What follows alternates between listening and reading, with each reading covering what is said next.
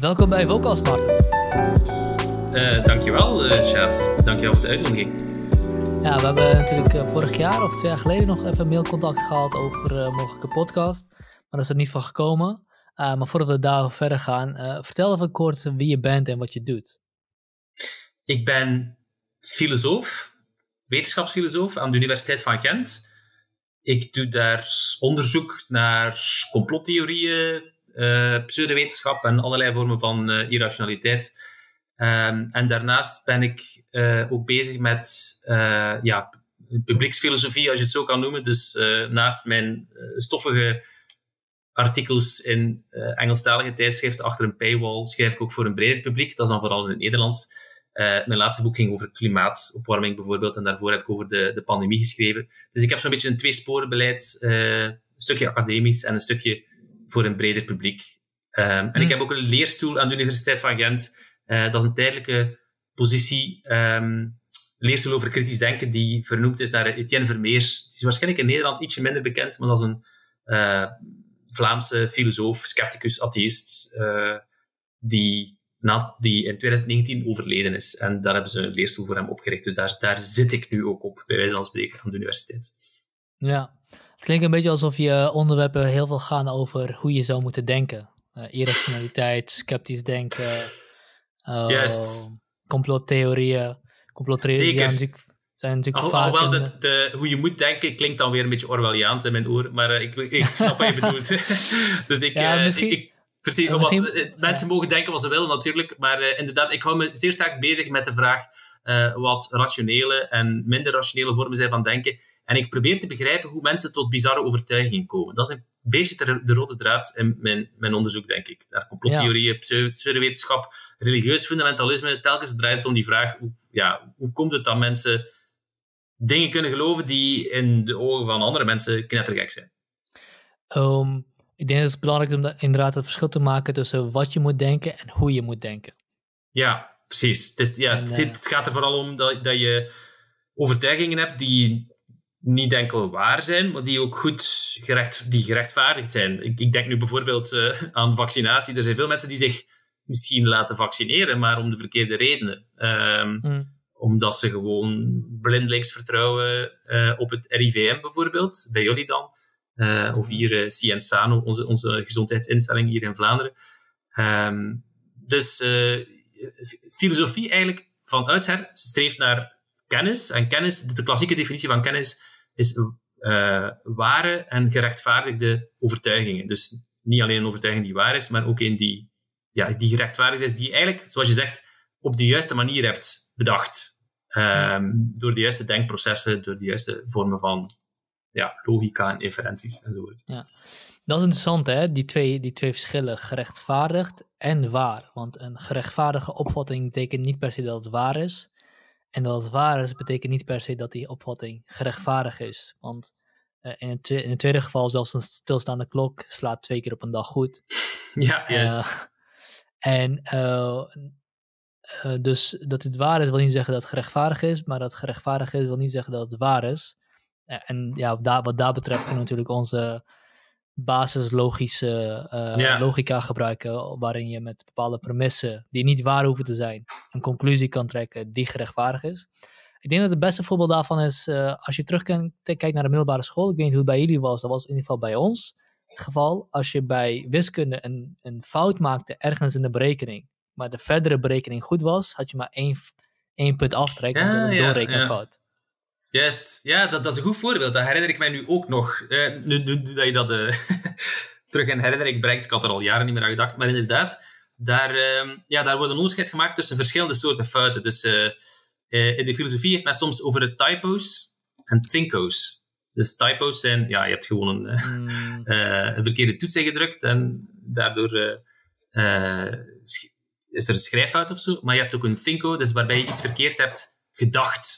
Um, en dus ook in wiskunde zou je het onderscheid kunnen maken tussen gewoon een eenvoudige rekenfout die eigenlijk vergeeflijk is en uh, een fout die wijst op een verkeerd begrip. Dus dat je mm -hmm, ja, blijkbaar dus de, de achterliggende theorie niet volledig hebt uh, begrepen. Dat is waarschijnlijk ja. ook de reden waarom we harder worden afgestrapt op dt-fouten. dt-fouten die eigenlijk ook maar gewoon één lettertje verschil zijn. Maar daar, ik denk dat de reden waarom mensen daar dan meer over struikelen, is dat omdat het een soort van, meestal een verkeerd begrip van, van grammatica dan uh, verraadt. Uh, Ja, we zijn ja. een beetje aan het afwijken, maar... Uh, Ja, ja, ja. En dit is natuurlijk bij DT-fout is natuurlijk ook een beetje het, uh, het, het, het. voelt gewoon verkeerd als een woord verkeerd geschreven is. Het voelt gewoon echt heel erg verkeerd, alsof je een noot verkeerd slaat. Precies, ja. Maar het is, het, het is verkeerd ook omdat het, uh, omdat het de verkeerde toepassing is van een regel. Terwijl je in principe een andere schrijffout, die ook gewoon maar één letter verschilt van de juiste schrijfwijze, ja. dat vinden we dan blijkbaar niet erg, omdat het, omdat het inderdaad geen, ver, geen verkeerde toepassing is van de regel. Omdat je niet, iemand niet betrapt op een verkeerd begrip van, ja, van de taalregels en de vervoeging van werkwoorden.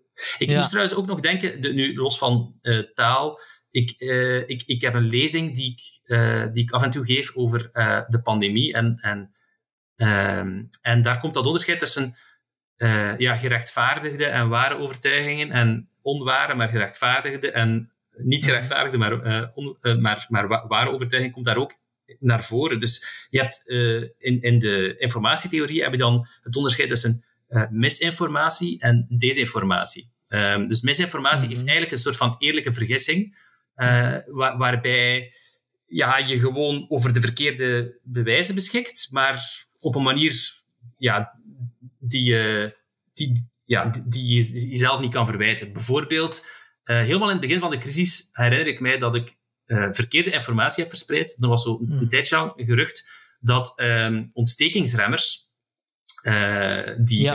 in, in, in dat die de symptomen van corona zouden verergeren.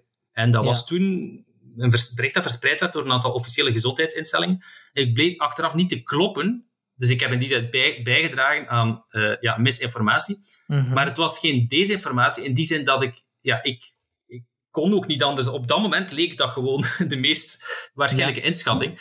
Terwijl iemand die bijvoorbeeld vandaag nog altijd volhoudt dat je onvruchtbaar wordt van vaccins, ja, dat is niet zomaar misinformatie, dat is echt iemand die eigenlijk beter zou moeten weten. Uh, die dus over dus, ja, een, een niet gerechtvaardigde en niet ware overtuiging. Ja, dat was dus een voorbeeld waarin je gerechtvaardigd was in je geloof, uh, maar het een, een onwaar geloof was. Precies, ja. De filosofen zeggen dan, de wereld eigenlijk... Uh, we gaan het ook hebben over... Ja, pardon? Nu viel je even weg. nee, vertel verder, vertel verder, vertel verder. Nee, filosofen spreken dan over het, de, de, the world conspires against you. Dus het is eigenlijk, Oh, ja. ja, de, de wereld smeet uh, een plan tegen jou. Dus eigenlijk, ja, uh, je wordt om de tuin geleid alsof, alsof de wereld je probeert uh, ja, te, te verschalken of zo. Ja, met Ja, de verkeerde bewijzen die leiden dan tot een overtuiging die wel gerechtvaardigd is, maar die niet, uh, die niet klopt. Oké, ehm, we gaan het vandaag hebben over, eh, over eh, ook een onderwerp waar je over schrijft, namelijk klimaatverandering. En, eh, eh, en, en, en de weg naar een oplossing daartoe of iets dergelijks. En ik heb zelf ook een specifieke vraag daarover. En ik denk dat interessant is om eerst jouw punt te laten maken voordat we kijken of we op mijn vraag terecht kunnen komen. Maar mijn vraag is Mhm. een beetje op de volgende manier gesteld. Ehm, ik ben denk ik net als jij optimistisch over het idee dat we met technologische veranderingen de vers- versnelde opwarming van de aarde kunnen verlangzamen of in ieder geval kunnen beperken tot op een punt dat het in ieder geval niet onbewoonbaar wordt voor ons. Wat ik Mhm. me alleen afvraag is eh, of we het niet te maken hebben met een doorrekenfout, zoals we al eerder in het gesprek hadden. Is niet de eerste fout die we, die we ooit gemaakt hebben, na- namelijk een agrarische samenleving opstarten en op die manier minder los, eh, meer los te staan van, een, van de natuur. Ik weet al de vraag die in je hoofd is, nou, wat bedoel je dan met de natuur? Ehm, door los te staan van de natuur zijn we op een bepaalde manier er tegenover gaan staan. En is, zou je kunnen zeggen, al het volgende, al, al het opeenvolgende daarna een vorm van doorrekenfout geweest. Grote vormen van ziekte worden ook eh, gelinkt aan de overstap van een jagers-verzamelaar samenleving naar een agrarische samenleving. Omdat je dan in principe door vee te houden en dergelijke gewoon een Ja. bron creëert van ziekte. Ehm, en het feit dat we deze, deze fout of deze opwarming kunnen tegenhouden, betekent nog niet dat die eerste fout niet gewoon een grote fout was doordat we Ja. minder natuurlijk zijn gaan zijn gaan leven. Het enige wat we oplossen is het probleem die we gecreëerd hebben door agrarisch te gaan leven. Ja, het is een eerdere fout. Het is een opeenstapeling van fouten waarbij we onze eerdere fouten nu proberen weg te werken of uh, ongedaan te maken.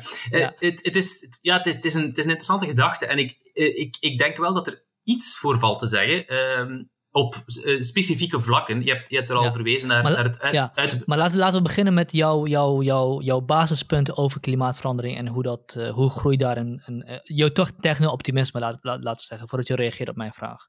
Zodat mensen een beetje dus, een beeld hebben van wie, wat je daarover denkt en schrijft. Ja, um, ik, ik probeer inderdaad ook uh, naar klimaatopwarming te kijken vanuit een breder historisch perspectief. Eigenlijk het verhaal van menselijke vooruitgang. Uh, ik ga misschien niet zo ver terug uh, als, als jij daarnet naar de agrarische revolutie. Maar ik denk als je um, de afgelopen eeuwen of afgelopen millennia kijkt naar de menselijke vooruitgang, dan neemt die eigenlijk grosso modo de vorm aan van een hockeystick. Uh, dat wil zeggen, dus eerst is het heel lang vlak.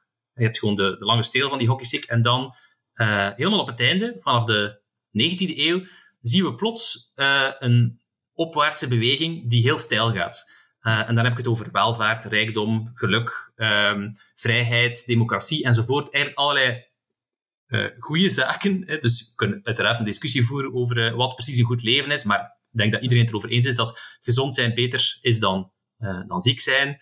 Uh, dat mm. lang leven beter is dan, uh, dan, dan vroeg sterven enzovoort. Um, en als je dan de vraag stelt, ja, wat is nu eigenlijk de, de verklaring van die, uh, van die enorme vooruitgang? Daar is uiteraard een heel complex verhaal over te vertellen, dat ietsje vroeger in de tijd teruggaat, de wetenschappelijke revolutie. Maar eigenlijk, um, vooral als het gaat om materiële welvaart, um, dan is de industriële revolutie, en dan met name steenkool, dan later olie en gas en andere fossiele brandstoffen, uh, die is daar ontzettend belangrijk geweest. Dus ik denk dat het, dat het verstandig is om, voordat we proberen af te raken van die fossiele brandstoffen, en la, laat, laat me daar duidelijk over zijn, dan moeten we wel degelijk doen, uh, maar dat we eerst de zegeningen van fossiele brandstoffen tellen. Dat we eigenlijk het klimaatprobleem in zijn juiste context zien. Uh, niet, denk ik, als een gigantische vergissing, maar als een neveneffect van iets wat eigenlijk een gigantische triomf is geweest. Hmm. Uh, dus ik denk niet dat het een uh, vergissing was om al die steenkool uit de grond te halen, al die olie uit de grond te halen. Uh, als we dat niet hadden gedaan, hadden we uiteraard vandaag niet te maken met een opwarmend klimaat, of toch veel minder. Hè. Dus er is ook een stuk ontbossing die zorgt voor klimaatopwarming. Maar goed, uh, dan nu even buiten beschouwing gelaten het grootste deel van de klimaatopwarming komt van fossiele brandstoffen. Dus ja, hadden we die, al die steenkool onder de grond gelaten, dan was het klimaat nu niet aan het opwarmen. Ja, maar dan waren we ook allemaal arm, ellendig en ziek en lelijk en ongelukkig gebleven. Um, dus ik denk dat je, als je naar het verhaal van de menselijke vooruitgang kijkt, en je kan daar nog verder voor teruggaan in de tijd, zie je vaak dat um, oplossingen zorgen voor nieuwe problemen, neveneffecten eigenlijk van, van onze vooruitgang. Het gat in de ozonlagen was daar ook een voorbeeld van, is eigenlijk ook een neveneffect van technologische uh, vooruitgang. Maar ik denk, hoe, hoe ernstig het klimaatprobleem vandaag ook is, ik denk niet dat het daarom een vergissing is geweest dat we met die industriële revolutie uh, gestart zijn. Ik denk, ik denk dat, dat die fossiele brandstoffen ons uh, ontzettend veel welvaart en ontzettend veel goede zaken hebben opgeleverd. en het goede nieuws is dat, um, dat er in principe geen enkele natuurwet is die uh, die ons verhindert om op een andere manier welvaart te creëren zonder die fossiele brandstoffen. Dus alhoewel, het, ik zie niet echt een, een, een plausibel scenario, dus een alternatieve geschiedschrijving, waarbij we al die vooruitgang kennen zonder fossiele brandstoffen. Maar ik geloof wel dat als we naar de toekomst kijken, dat we van die fossiele brandstoffen af kunnen raken en dat in het beste geval, vanuit historisch perspectief, zullen die fossiele brandstoffen eerder een soort van trapladder geweest zijn in, in onze evolutie. Een soort van hmm. noodzakelijke tussenstap die je nodig had om tot een punt te komen waar dat je dan superieure energiebronnen hebt, bijvoorbeeld kernenergie of hernieuwbare energie. Uh, maar je had die tussenstap wel nodig. Je kan niet plots van 0 tot, tot 100 gaan. Je kan niet plots uh, de, in, een industriële revolutie voorstellen die de, de, steenkool en olie overslaat die meteen naar uranium gaat. Dus, nee, dat gaat niet. Hmm. Je hebt geleidelijk aan heb je een evolutie nodig um, naar betere en, en, en meer uh, goedkope en efficiënte en schonere vormen van energie. Maar uh, dat is een beetje mijn uh, historisch perspectief dat ik verdedig in mijn, mijn laatste boek. Dus waarom ons klimaat niet naar de knoppen gaat, tussen haakjes, als, als we het hoofd koel houden. Ehm, de industriële revolutie was fantastisch. Fossiele brandstoffen zijn nog altijd fantastisch, vooral voor arme landen. Maar nu is de tijd gekomen om ze vaarwel te zeggen. En gelukkig kunnen we dat. Dus we, we, het, het is een, een beheersbaar probleem. Dus als we ons echt daartoe inspannen, als we ons hoofd koel houden, als we geen domme dingen doen, als we de juiste oplossingen, uh, op de juiste oplossingen inzetten, dan geloof ik wel degelijk dat we de klimaatcatastrofe kunnen afwenden. Dus ik vind het ook uh, ik, ik weet niet hoe het gaat aflopen, uiteraard. Ik heb geen glazen bol, vandaar ook de, die, die ondertitel in mijn, in mijn boek. Maar ik vind het een geweldig spannende tijd om, te, om in te leven. Dus ik, ben, ik, ben, ik betreur het zelfs een beetje dat ik... Ik zal niet meer het jaar 2100 meemaken. Uh, ik, ik, ben niet zo'n uh, transhumanist die gelooft in levensverlenging van 150, 200 jaar of zo. Maar, ik ben niet zo optimistisch. Nee, zo, er zijn grenzen aan mijn optimisme. Ehm, maar ik, ik hou in het algemeen ook niet zo van de term uh, optimisme, omdat een optimist dat is zo iemand die met een roze bril naar de werkelijkheid kijkt. En dat probeer ik niet te zijn. Dus ik probeer alleen maar uh, een, wat ik dan een verbeterlijke optimist noem. Dus iemand die, uh, ja, die, die denkt dat een mooie toekomst mogelijk is, maar, maar, maar uiteraard niet onvermijdelijk. Dus, dus het kan altijd zijn dat we het gigantisch verknoeien en dat we naar een ja, 4, 5, 6 graden opwarming gaan en dat er honderden miljoenen doden zullen vallen. Ik bedoel, dat soort zaken, dat, dat zijn mogelijk, dat kunnen we niet uitsluiten. Uh, maar de, dus ik vind het een geweldig spannende tijd om te leven, omdat ik, omdat ik echt ook benieuwd ben waar we gaan staan binnen 10 jaar, binnen 20 jaar, 2050 zal ik hopelijk wel nog meemaken. Het zou wel, uh, het zou wel slecht naar mij moeten aflopen als ik 2050 niet meer meemaak. En het is echt wel een cruciale periode. Dus heel veel, ja, wat er, wat er de komende eeuw staat te gebeuren, wordt voor een stuk, voor een heel groot stuk gedetermineerd door wat dat we de, de komende decennia gaan doen. Dus ik vind het, ja, los of, of, of, dat je nu optimistisch of pessimistisch bent, denk ik, vind ik het een voorrecht om in deze tijd te mogen leven en om, de, om die spannende plotwending in, in ons verhaal van menselijke vooruitgang te mogen meemaken. Ja, en wat denk je dat de oplossingen zijn die we kunnen, kunnen aan, aannemen om uh, die klimaatcatastrofe uh, af te wenden? Wel, er zijn uiteraard duizend en één verschillende oplossingen nodig. Het is niet zo dat er één wondermiddel bestaat, één zilveren kogel waarmee dat we het probleem kunnen oplossen. Um, maar ik, ik wil mijn boek ook niet te exhaustief maken. Uh, Bill Gates heeft een boek geschreven waarbij hij uh, bijna stelselmatig overloopt welke oplossingen we al hebben, welke oplossingen we nog nodig hebben, hoeveel ze kosten enzovoort. Maar ja, dat is... Uh, dat, dat leest ook niet zo lekker, omdat het dan gewoon een soort van opzomming is van, ah ja, dit moeten we ook nog hebben, en ethyleen, en plastic, en staal, enzovoort. En uh, dus als ik er één oplossing moet uitkiezen die, die volgens mij uh, het meest beloftevol is, het meest hm. veelzijdig uh, en ook het meest onderschat, hm. dat is ook belangrijk, want daarom heb ik er een boek over geschreven. Dus er zijn andere oplossingen die ook mooi zijn, maar waar iedereen al van overtuigd is. Maar er is één oplossing die heel mooi is en waar heel weinig mensen van overtuigd zijn, toch zeker tot voor kort, en dat is kernenergie. Uh, nu ben ik uh, heel blij dat jullie uh, vorige week jullie nieuwe Nederlandse kabinet heeft beslist ja. om kernenergie opnieuw te om, omarmen. voor mij is dat natuurlijk nog veel verder mogen gaan, want met, met, twee kerncentrales gaan we het klimaat ook niet redden. Maar goed, het is een, het is een begin. het is in ieder geval veel beter dan wat België doet. België heeft prima functionerende kerncentrales die ze willen slopen en vervangen door fossiele gascentrales, wat echt, echt een soort van toppunt van uh, klimaatidiotie uh, is. Uh, maar dus voor ja, misschien sommige luisteraars die, die, die misschien zich afvragen waarom kernenergie dan zo fantastisch is voor het klimaat. Ja. heel kort samengevat, kernenergie um, is een manier om enorme hoeveelheden energie op te wekken met heel weinig grondstoffen en toch zonder CO2 uit te stoten. Uh, het is eigenlijk een vorm van valspelen, zou je kunnen zeggen. Uh, eigenlijk, dus uh, tot, tot, tot voor kort eigenlijk waren we bijna volledig afhankelijk van fossiele brandstoffen. Dus al, alle mogelijke manieren om energie op te wekken, ja, die gingen altijd gepaard met CO2. En nu hebben we een manier gevonden om eigenlijk nog meer energie op te wekken en toch zonder dat neveneffect.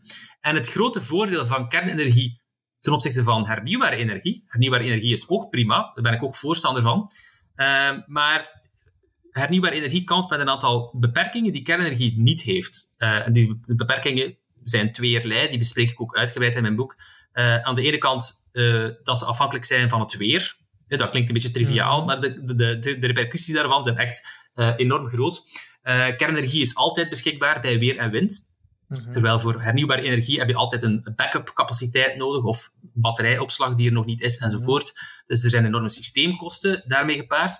En het tweede grote probleem is het uh, beslag dat je legt op de natuur, op de ruimte. Uh, mm Om dus dezelfde hoeveelheid energie op te wekken als één kerncentrale, neem de kerncentrale in Borselen bijvoorbeeld, uh, ja, heb je een windpark nodig van honderden of duizenden vierkante kilometers, uh, waar ook een veelvoud van metaal en beton en glas en zeldzame mineralen en grondstoffen in kruipt. Uh, dus hernieuwbare energie is mooi en stoot ook geen CO2 uit. Maar ik denk dat het schromelijk tekortschiet voor de, de uitdaging waarvoor we staan. Ik, ik, het is een beetje ironisch, in die zin dat veel klimaatactivisten die geloven in 100% hernieuwbare energie, die onderschatten eigenlijk een beetje de omvang van het probleem. Omdat ze hmm. denken, ja, met een paar windmolens uh, in, de, in de polders en op zee en een paar zonnepanelen op ons dak, daar raken we er wel. Uh, maar maar, ik, maar ik, ik, ik geloof dat ze, dat ze, dus, uh, dat ze zich daarin uh, echt vergissen. Als je dan het reeksommetje gaat maken en je, en je probeert uh, dus te becijferen hoeveel energie we nodig hebben. En dan vooral ook in de toekomst. Want we gaan binnenkort allemaal elektrisch rijden en allemaal warmtepompen hebben, hebben in ons huis. En we gaan groene waterstof nodig hebben om staal te smelten en in onze industrie. Dan heb je zo gigantisch veel energie nodig dat je, bij, ja, je het hele land moet volzetten met zonnepanelen en windmolens en dan raak je er nog niet. Um, en daarom heb ik dus een vurig pleidooi voor kernenergie gegeven. Precies omdat ik vind dat het uh, ja, een, een onderschatte oplossing is voor het probleem. En um er zijn natuurlijk veel tegenargumenten tegen kernenergie. En ik, ik, geloof best dat het haalbaar is. Ik geloof best dat het uh, ook uh, veilig genoeg zal zijn. Uh, maar wat ik me afvraag is, wat doe je met het kernafval? Ja, het kernafval is iets waar ik zelf vroeger... Ja, ehm, het is op dit moment denk ik inderdaad het... als je een rangschikking zou maken van de, de argumenten waarmee de tegenstanders het vaakst afkomen, dan denk ik uh, ja, kernwapens zal, zal misschien in de top 5 staan. Uh, de kostprijs van kernenergie zal ook ergens uh, in de top 5 staan. Maar misschien het, het meest populaire of het, het meest gewichtige argument nog in de ogen van veel mensen is inderdaad het kernafval. En ja. Ehm, ik vind het altijd interessant ehm, om te vertellen dat ik zelf destijds, hm, laten we zeggen tot 15 jaar geleden, bang was van kernafval en heel erg overtuigd was dat kernenergie de verkeerde oplossing was, dat dat eigenlijk onverantwoord was, omdat we daarmee toekomstige generaties opzadelen met een, met een probleem dat we gewoon niet kunnen oplossen. Namelijk dat, dat afval, dat dus duizenden tot honderdduizenden jaren uh, gevaarlijk blijft. Ik ben zelf opgegroeid met dus de tijdschriftjes van Greenpeace en van uh, eh, WWF. Um, ehm, mijn ouders en mijn familie die, ja, die komen echt uit een diepgroene, uh, diepgroene hoek, hebben altijd op groene partijen gestemd. En ik heb dus ook, uh, wat kernafval betreft, heb ik door daarover te lezen, door daar gewoon mij over te informeren, ben ik op een bepaald moment tot de vaststelling gekomen, wauw, dit, dit, is eigenlijk echt helemaal geen probleem. En ik weet dat dit uh, ongeloofwaardig klinkt voor wie, voor wie de, dus net zoals ik vroeger dacht dat dat kernafval gewoon een, een onoverkomelijk uh, probleem is wanneer dat we die toekomstige generaties opzadelen. Maar waarom is het geen probleem? Waarom is het geen probleem? Wel, omdat um, als je uitgaat van het worst case scenario, dus uh, men gaat er nu vanuit dat we dat kernafval gewoon onder de grond stoppen, uh, in stabiele aardlagen. Uh, dat is de zogenaamde geologische berging. Uh, in Finland bijvoorbeeld is, is, men daar al zeer ver mee gevorderd. Dus die, die bergingsplaatsen die zijn eigenlijk zo goed als klaar. Die zijn gebouwd en die zijn dus klaar voor gebruik.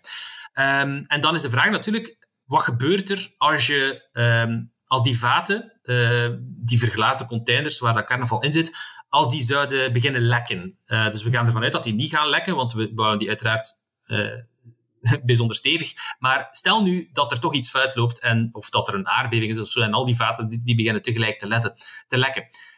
dan blijkt dat de hoeveelheid straling die vrijkomt, zelfs voor iemand die vlak boven die site woont, en die bij wijze van spreken elk elke dag groentjes uit zijn eigen moestuin eet en die heel, de, hele zijn hele leven op die plek woont, dat die stralingsdosis uh, ongeveer de stralingsdosis is die je krijgt als je een paar bananen eet. Bananen zijn namelijk radioactief, die bevatten radioactief kalium. Dus uh, in, de, de geesten van mensen is kernafval zo'n onoverkomelijk probleem, omdat ze altijd denken in termen van die jaartallen. Ja, maar het is duizend jaar, of tienduizend jaar, of honderdduizend jaar. En dat klinkt natuurlijk bijzonder angstaanjagend. Maar de natuur zit vol met radioactiviteit, uh, met som radioactieve isotopen, zoals uranium, die soms nog een veel langere halfwaardetijd hebben. Dat wil zeggen dat ze nog veel langer radioactief zijn. Dat ze, dat ze dus uh, radioactieve straling uitzenden.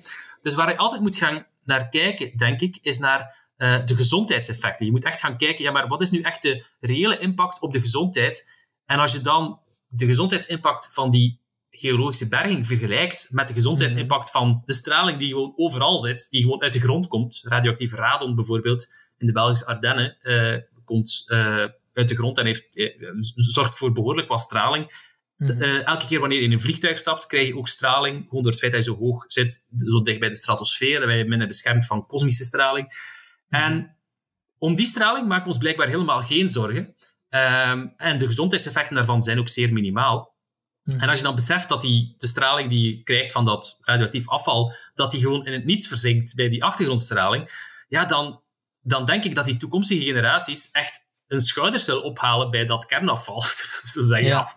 Uh, de, de, bedoel, je, het, het, het probleem van klimaatopwarming dus... is natuurlijk veel uh, ernstiger. Ik bedoel, dat is echt iets waar we mee de toekomstige generaties opzadelen, maar dat kernafval is gewoon... Dat is inderdaad natuurlijk ook een vraagstuk, hè? want je, je kan inderdaad zeggen, je, je, je bouwt wel afval, kernafval op en stel je voor het zou gevaarlijker zijn dan dit, dan moet je het alsnog afwegen tegen de, de, tegen de, de kost van geen kernenergie, dus, dus klimaatverandering door laten gaan. En dan kan het nog steeds zijn dat de afweging valt voor kernafval.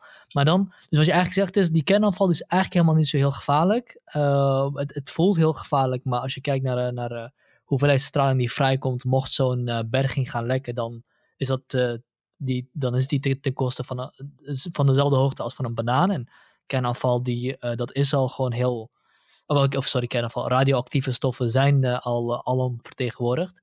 Maar ja. als we kijken naar dan als, we dan, als we dan wel kijken naar die tijdsbestek van 100.000 jaar. Um, het, het gaat zich natuurlijk wel opstapelen. En uh, hoe zit het over. En, dan, hoe zit het over 1000 jaar? Hoe zit het over 20.000 jaar? Hoe zit het over 30.000 jaar? Als we nog veel meer bergingen nodig hebben voor dat kernafval. Als we veel meer kerncentrales hebben voor de benodigde hoeveelheid energie die we dan hebben. Want een van de problemen is, en dat is ook wel dat slaat ook wel een beetje aan bij jouw uh, kritiek van de, van de, voor de pleidooihouders van hernieuwbare energie. Het is namelijk niet zo dat als wij nu onze energievoorraad uh, uh, uit hernieuwbare energie halen, dat dan klaar is. Nee, wat er gaat gebeuren is dat we meer energie nodig gaan hebben. Uh, de energiecapaciteit kun je soort van, denk ik, zien alsof je in een rivier extra uh, extra gaten graaft of extra, extra uh, aftakkingen graaft. Het water zal erheen gaan. Hoe meer er energie beschikbaar is, hoe meer innovatie zal komen die meer energie nodig heeft. Um, dus we gaan altijd meer energie nodig hebben. Dat, dat, dat betekent dat de benodigde hoeveelheid energie, ja, dat zal net als uh, een coronavirus waarschijnlijk exponentieel stijgen. dus de hoeveelheid land dat er voor nodig is, zal exponentieel stijgen de hoeveelheid uh, grondstoffen die ervoor nodig zijn zal stijgen. Maar dat betekent dus ook voor kernafval, want kernafval lijkt dan een goede, laten we zeggen, eh, tegenwicht daaraan te bieden, omdat die zoveel meer energie kan opwekken met zo weinig land en mhm. zo minder mogelijk, eh, zo minder resources. Maar tegelijkertijd produceert dus ook meer afval en dat betekent dus ook dat de hoeveelheid afval exponentieel zal stijgen van kernenergie. En hoe ziet dat eruit over 10, 20, 30.000, 40.000 jaar? De, wel, er zal inderdaad meer radioactief afval zijn. Uh, maar, maar zelfs als je de hele wereld op kernenergie zou laten draaien, wat uiteraard niemand wil, zelfs ik, ik ben niet zo radicaal dat ik, uh, dat ik echt voor 100% nucleair ga over de hele wereld. Uh, maar, maar bij wijze van denkoefening is het wel interessant. Zelfs dan zou het echt een heel beheersbaar probleem zijn. Om de eenvoudige reden dat um, de hoeveelheid uranium op deze, uh, op deze planeet. En, en thorium, thorium is ook een uh, nucleaire brandstof die je zou kunnen gebruiken voor, in toekomstige reactoren. Mhm. Die is, niet, die is niet bijzonder groot. Dat wil ook zeggen dat de hoeveelheid afval die je daarmee produceert ook niet bijzonder groot is. Um, als je, je, dus als je zo'n pro-nucleaire fanaticus zou zijn, die dus enkel nucleaire energie zou consumeren je hele leven lang, uh, dan heb je een klompje uranium nodig ter grootte van een colablikje. Ehm, dus dat is ontzettend weinig grondstoffen. En dat vertaalt zich ook in ontzettend weinig afval. Dus de hoeveelheid afval die je krijgt, is ook de grootte van een colablikje. Um, dus inderdaad, er zal meer kernafval zijn, maar eenmaal dat je een oplossing hebt gevonden voor het huidige kernafval, is het gewoon een kwestie van die geologische bergingssites ietsje groter te maken. Uh, en omdat uranium, dat, dat, uh, dat dus uh, vervallen uranium, of dus die opgebruikte brandstof, die, die, die in the first place uit de grond kwam. Ik bedoel, we hebben die gewoon, dat is gewoon uraniumerts die we uit de grond hebben gehaald, die stoppen we daar gewoon terug in. maar dan veilig afgeschermd enzovoort, zodat niemand daar last van heeft. Ehm, dat is een perfect beheersbaar probleem. Um, daarbovenop komt ook nog dat toekomstige generaties uh, misschien zo ver technologisch gevorderd zullen zijn, dat ze het misschien zelfs vervelend zullen vinden dat we al dat kernafval in de grond hebben gestopt. Want de reden waarom dat kernafval nog zoveel duizenden jaren straling uitzendt, is dat daar nog zoveel energie in zit. De straling die vrijkomt, dat is energie. Uh, als je een manier zou kunnen vinden om die energie daar sneller uit te halen, dus om die, om die isotopen opnieuw te gaan bestoken met neutronen, en daar zijn, daar zijn technologische ontwikkelingen die, daar, mm die daarmee bezig zijn, dan zou je dat kernafval eigenlijk opnieuw kunnen gaan verwerken en op die manier dus zowel de hoeveelheid afval nog gaan verkleinen, uh, omdat je er gewoon nog meer energie uithaalt, en er nog een veelvoud van energie mee gaat opwekken die je nuttig kan gaan uh, besteden. Dus op dit moment, zelfs de, de metafoor die ik net gaf van, uh, enfin, metafoor, dus de, uh, het, het, het, beeld van het cola-blikje, uranium, dat is de huidige nucleaire technologie. Maar die huidige nucleaire technologie die is eigenlijk nog bijzonder inefficiënt. Dus dat wil zeggen dat de hoeveelheid beschikbare energie in uranium, die is honderd keer groter dan de energie die we er op dit moment uithalen. Dus op onze kerncentrales, ik bedoel, op, die zijn fantastisch in die zin dat ze gewoon ja, een heel, heel aantal voordelen hebben. Uh, maar in principe zouden die nog veel beter kunnen zijn. Dus op dit moment, ik denk, ik ken het cijfer niet van buiten, is slechts 1 of 2 procent van de energie die vervat zit in uranium, die halen we eruit. De rest blijft eigenlijk achter in dat zogenaamde af, afval. En vandaag beschouwen we dat als afval, omdat we er gewoon voorlopig niks mee kunnen doen. Uh, maar in Frankrijk is men bijvoorbeeld wel al bezig met uh, uranium dus uh, verschillende keren door die cyclus te jagen, waardoor dat je dus meer energie eruit haalt. En waarschijnlijk, het is zeer waarschijnlijk dat in de toekomst uh, dat we dat zogenaamde afval nog gaan kunnen verder verwerken. Het is allemaal kwestie van energie. Dus, dus dezelfde ja, na natuurkracht die zorgt voor die straling, is de, is de natuurkracht die toelaat om, om daar elektriciteit mee op te wekken. Dus ik, dus ik denk, de hoeveelheid kernafval, um, die doet er volgens mij ook niet zo erg toe. De, de, de, de Groenen in België bijvoorbeeld, die pleiten voor dus de, uh, de, de, sluiting van alle kerncentrales. Dus dat is een wet die in 2003 mm -hmm. Gestemd is. Ja, die beelden zich soms in dat als we al die, al die kerncentrales zouden sluiten, dat we dan verlost zouden zijn van het afvalprobleem. Dat is natuurlijk helemaal niet waar, want we hebben sowieso al afval uh, dat we moeten verwerken op een of andere manier. En eenmaal dat je daar een oplossing voor gevonden hebt, dan maakt het niet zoveel uit wat dan de precieze hoeveelheid van afval is. Economisch zou je kunnen zeggen, het is een, het is een, een vorm van dalende uh, marginale kost. Dus je hebt de, de, initiële kost die je nodig hebt voor gewoon ja, de, de, eerste kilo afval of zo, daar moet je iets mee doen. En eenmaal dat je dan een oplossing gevonden hebt, bijvoorbeeld zo'n geologische site, ja, hmm. die kan, uh, het gaat om zeer kleine hoeveelheden. Dat gaat dan om een, een aantal uh, zwembaden afval ja. uh, gedurende de hele geschiedenis van de Belgische nucleaire industrie. Ja, dat is, dat is, in omvang is dat bijzonder, bijzonder klein ja, ja.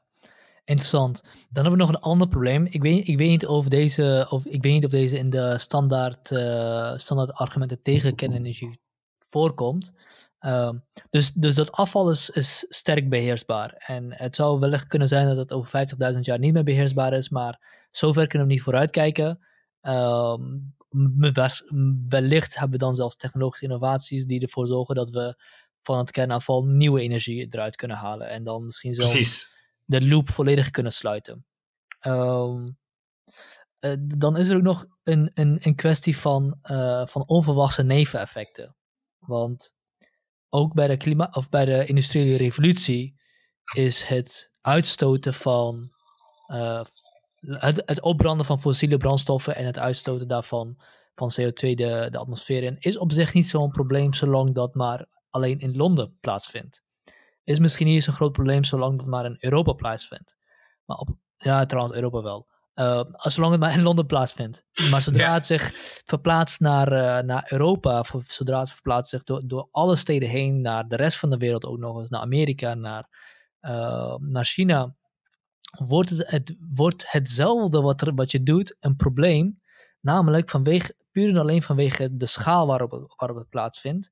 Op een manier die we niet hadden voorzien. Alhoewel het volgens mij wel zo is dat vanaf het begin al wetenschappers wel waarschuwen voor het uh, uitstoten van, uh, van fossiele brandstoffen. Um, maar we hebben ook nog het probleem van, van, van onverwachte neveneffecten. Um, en zeg maar, dat is namelijk iets wat heel vervelend is om te gebruiken als argument. Want natuurlijk heb je onverwachte neveneffecten. Maar uh, we kunnen niet iets niet doen omdat er misschien iets gebeurt waarvan we niet weten dat het gebeurt. Ja, precies. Ja, inderdaad. Stel dat we vroeger hadden gezegd, laten we die steenkool maar onder de grond zetten, want je weet nooit welke onverwachte neveneffecten zouden optreden. Ja, nogmaals, dan hadden we inderdaad gewoon al die welvaart en die rijkdom niet gehad. Uh, Dan waren we bespaard gebleven van het klimaat, klimaatprobleem. Maar ja, je kan inderdaad zo conservatief zijn over, uh, of zo argwanend over nieuwe technologieën, dat je gewoon elke mogelijke vooruitgang in de kiem smoort.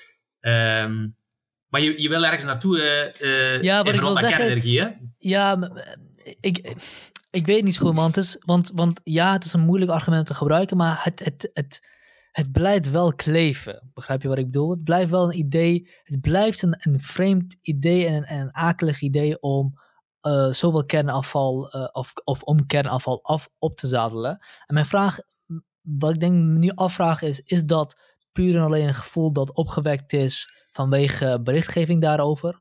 Of zit daar, zit daar misschien toch iets meer ten grondslag die uh, voorzichtig mee moeten zijn.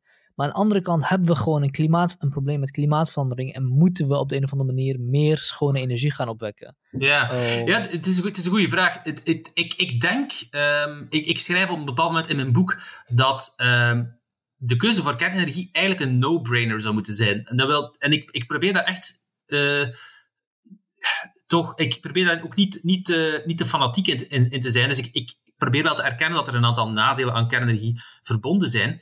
Maar, uh, maar die nadelen die zijn volgens mij zo, uh, ja, zo klein of, uh, of, of bescheiden van aard, bijvoorbeeld dat kernafval, dat het inderdaad in het niets verzinkt tegenover de klimaatopwarming. En ik zou zelfs zeggen, stel dat het kernafvalprobleem tien keer of honderd keer groter was dan het vandaag was, dat het misschien nog tien of honderd keer gevaarlijker was en dat we nog altijd geen oplossing hadden, dan denk ik nog altijd, dat zou het een lastiger afweging zijn. Maar dan zou ik nog altijd vinden dat kernenergie een enorm beloftevolle technologie is en dat het nog altijd minder gevaarlijk is uh, dan, dan, dan klimaatopwarming. Maar voor een stuk moet je wel rekening houden met gewoon uh, het voortschrijdend inzicht van de afgelopen decennia. En dat is iets wat heel moeilijk is om te doen, uh, niet alleen wat kernenergie betreft, maar ook wat klimaatopwarming betreft. Je zei daarnet, uh, ook van in het begin van uh, dus gebruik van fossiele brandstoffen, waren er wetenschappers die waarschuwden voor het effect van CO2 op onze atmosfeer. Hm. Voor een stuk klopt dat natuurlijk. Je kan inderdaad in de geschiedenis teruggaan. Kijk, Svante Arrhenius was zo een van die grondleggers eigenlijk van het de theorie van het broeikaseffect. En men had vrij snel door, ja, ten eerste dat CO2 vrijkomt bij de verbranding van niet alleen fossiele brandstoffen, maar ook hout en eigenlijk alle, alle, alle, mhm. alle vormen van organisch materiaal.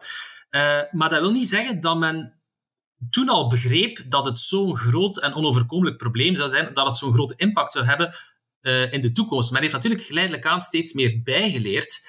En voor kernenergie geldt hetzelfde. Dus ik kan voor een stuk wel meer de angst begrijpen van mensen die bijvoorbeeld in de jaren uh, 50, in de jaren 60 leefden, uh, toen er eigenlijk nog relatief weinig bekend was over uh, kernenergie en ook over het effect van de radioactiviteit. Um, toen we eigenlijk nog veel minder wisten ook over de gezondheidseffecten van radioactieve straling. Toen, toen waren er misschien nog wel overtuigende argumenten. Hè, we hadden het daarnet ook over uh, onware, maar, maar gerechtvaardigde overtuigingen. Er waren toen misschien wel aanwijzingen dat ja, eh, die radioactieve straling, dat is, uiteindelijk is dat toch iets... Uh, het is niet volledig nieuw, omdat het in de natuur bestaat, maar uh, plutonium bijvoorbeeld is wel een, een, element dat eigenlijk in de vrije natuur niet voorkomt en dat wij als mensen hebben gemaakt door dat gewoon artificieel in reactoren op te wekken. Dus in die zin snap ik wel dat er destijds wel angst bestond en dat die angst voor een stuk wel rationeel was. Maar uh, de afgelopen decennia hebben we ook gewoon proefondervindelijk door een aantal rampen hebben we gezien wat, wat er eigenlijk gebeurt in het worst case scenario. Dus in Tsjernobyl natuurlijk en dan iets later in, in Fukushima.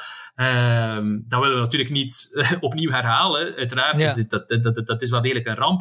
Uh, maar als je dan kijkt naar de gezondheidsimpact daarvan, uh, we zouden daarover kunnen uitweiden, dan viel die veel beter mee eigenlijk dan initieel verwacht werd. Hmm. Dus ik denk, um, ik kan veel meer begrip opbrengen, denk ik, voor mensen in de jaren 60, 70 die uh, sceptisch waren tegenover kernenergie. Ten eerste omdat men gewoon niet bewust was van het klimaatprobleem. Bijna niemand in de jaren 60, 70 lag wakker van het klimaatprobleem. Dus het was gewoon een andere afweging. nu mhm. vind ik de, het belangrijkste argument voor kernenergie vind ik het klimaat. Maar dat argument bestond toen gewoon nog niet. Dus de afweging was compleet anders.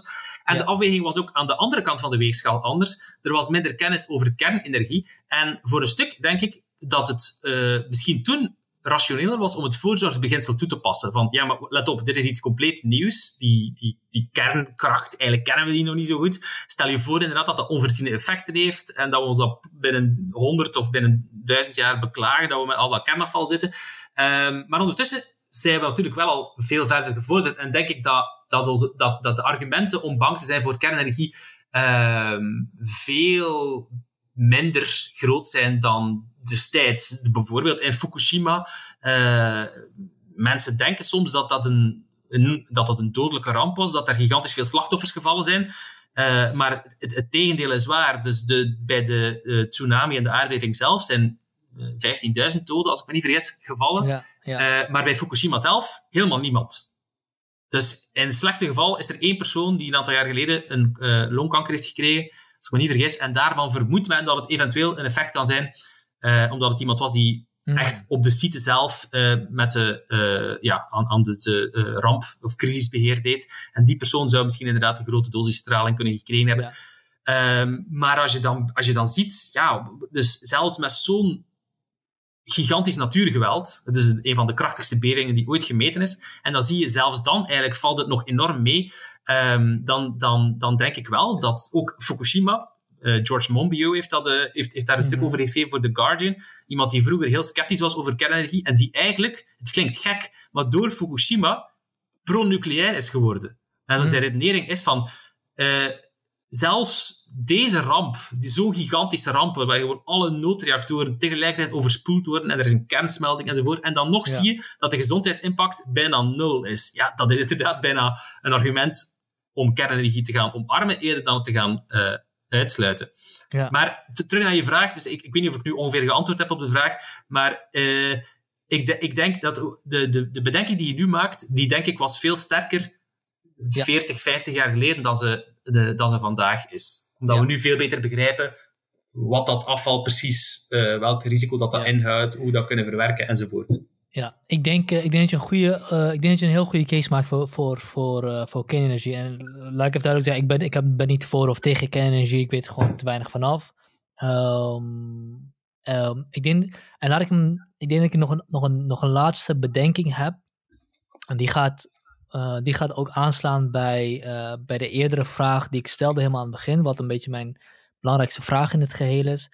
Um, de kernenergie is denk ik en zeker met de betoog die je nu houdt, denk ik een heel goede manier om klimaatverandering of de problemen van klimaatverandering te, te beperken. Of laten we zeggen, de, de, de verdere op verhoging van, uh, van, de, van, van de temperatuur van de wereld.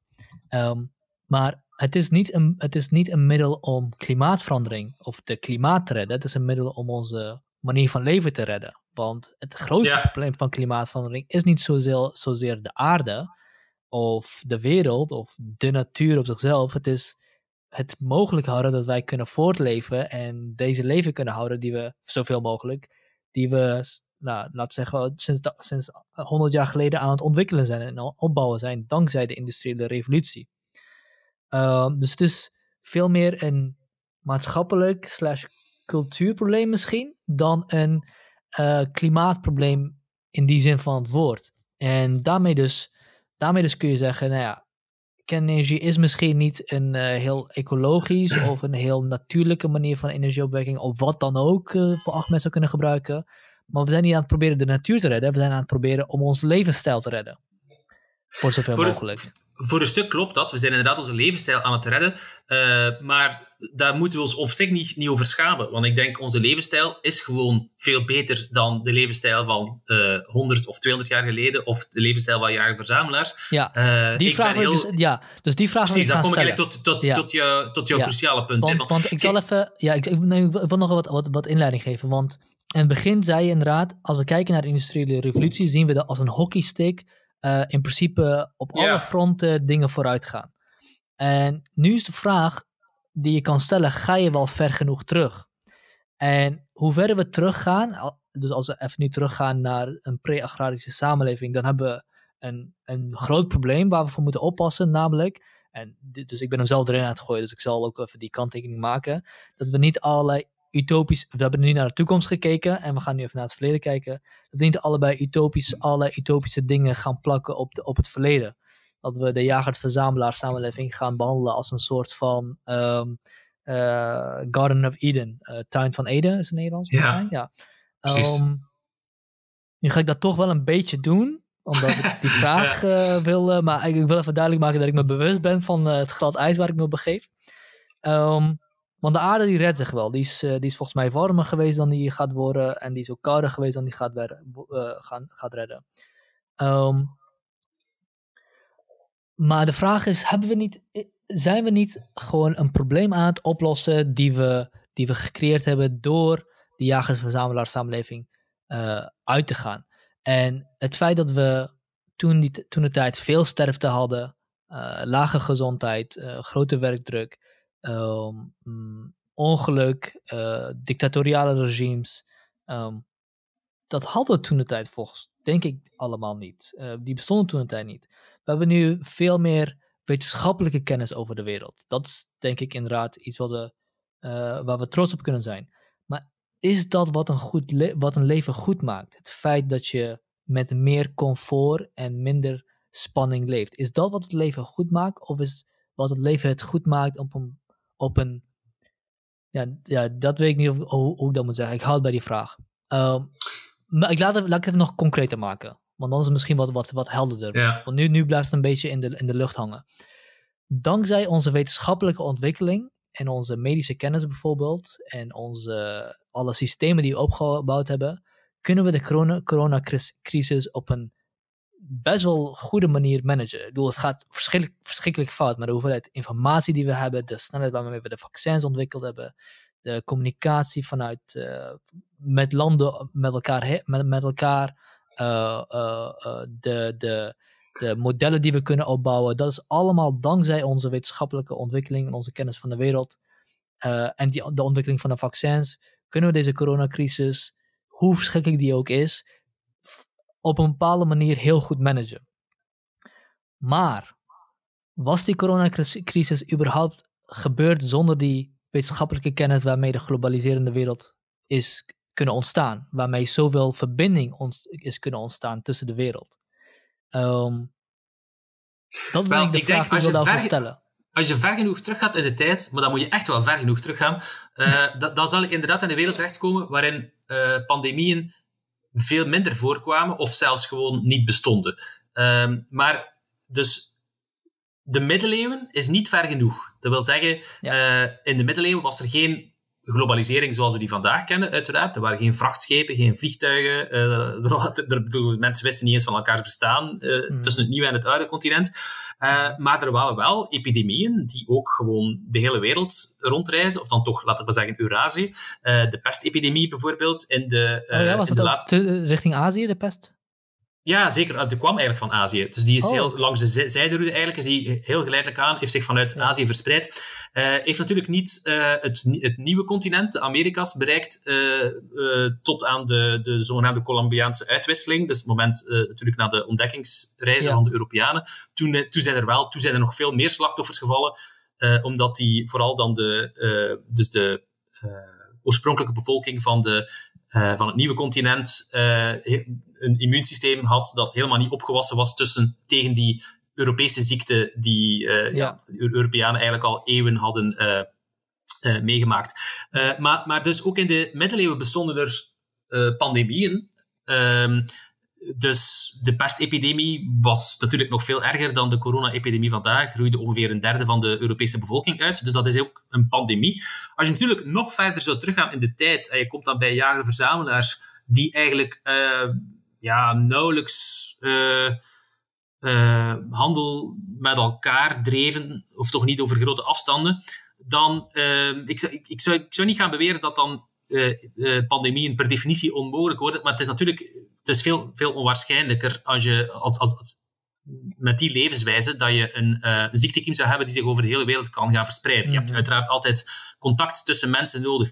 Um, maar bijvoorbeeld iets als malaria. Malaria is ook een, ja, een ziekte die, denk uh, uh, in, in, de, in de wereldgeschiedenis nog veel meer slachtoffer heeft gemaakt dan zelfs de pest. Um, mm. Maar die wordt verspreid door, door muggen, dus die niet van mens op mens wordt overgedragen, maar die via een, ja, een zeer mobiele um, uh, gastheer of tussen, tussenschakel wordt verspreid. Um, die bestonden uiteraard ook al in jager-verzamelaargemeenschappen.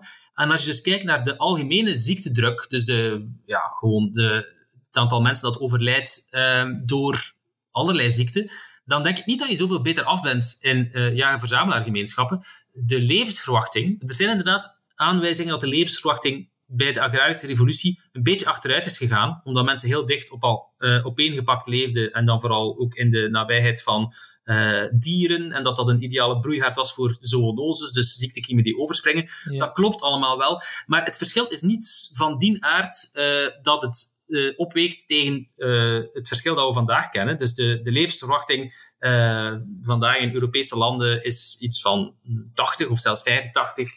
denk, recordhouders zijn Japanse vrouwen, daar is, daar is het denk ik zelfs meer dan 90 jaar. geen enkele jager-verzamelaargemeenschap heeft een levensverwachting van boven de 50 jaar. Ik denk zelfs niet boven de 40 jaar. rond de 30, 35 jaar is ongeveer de levensverwachting van de hele menselijke geschiedenis tot aan, tot aan de industriële revolutie.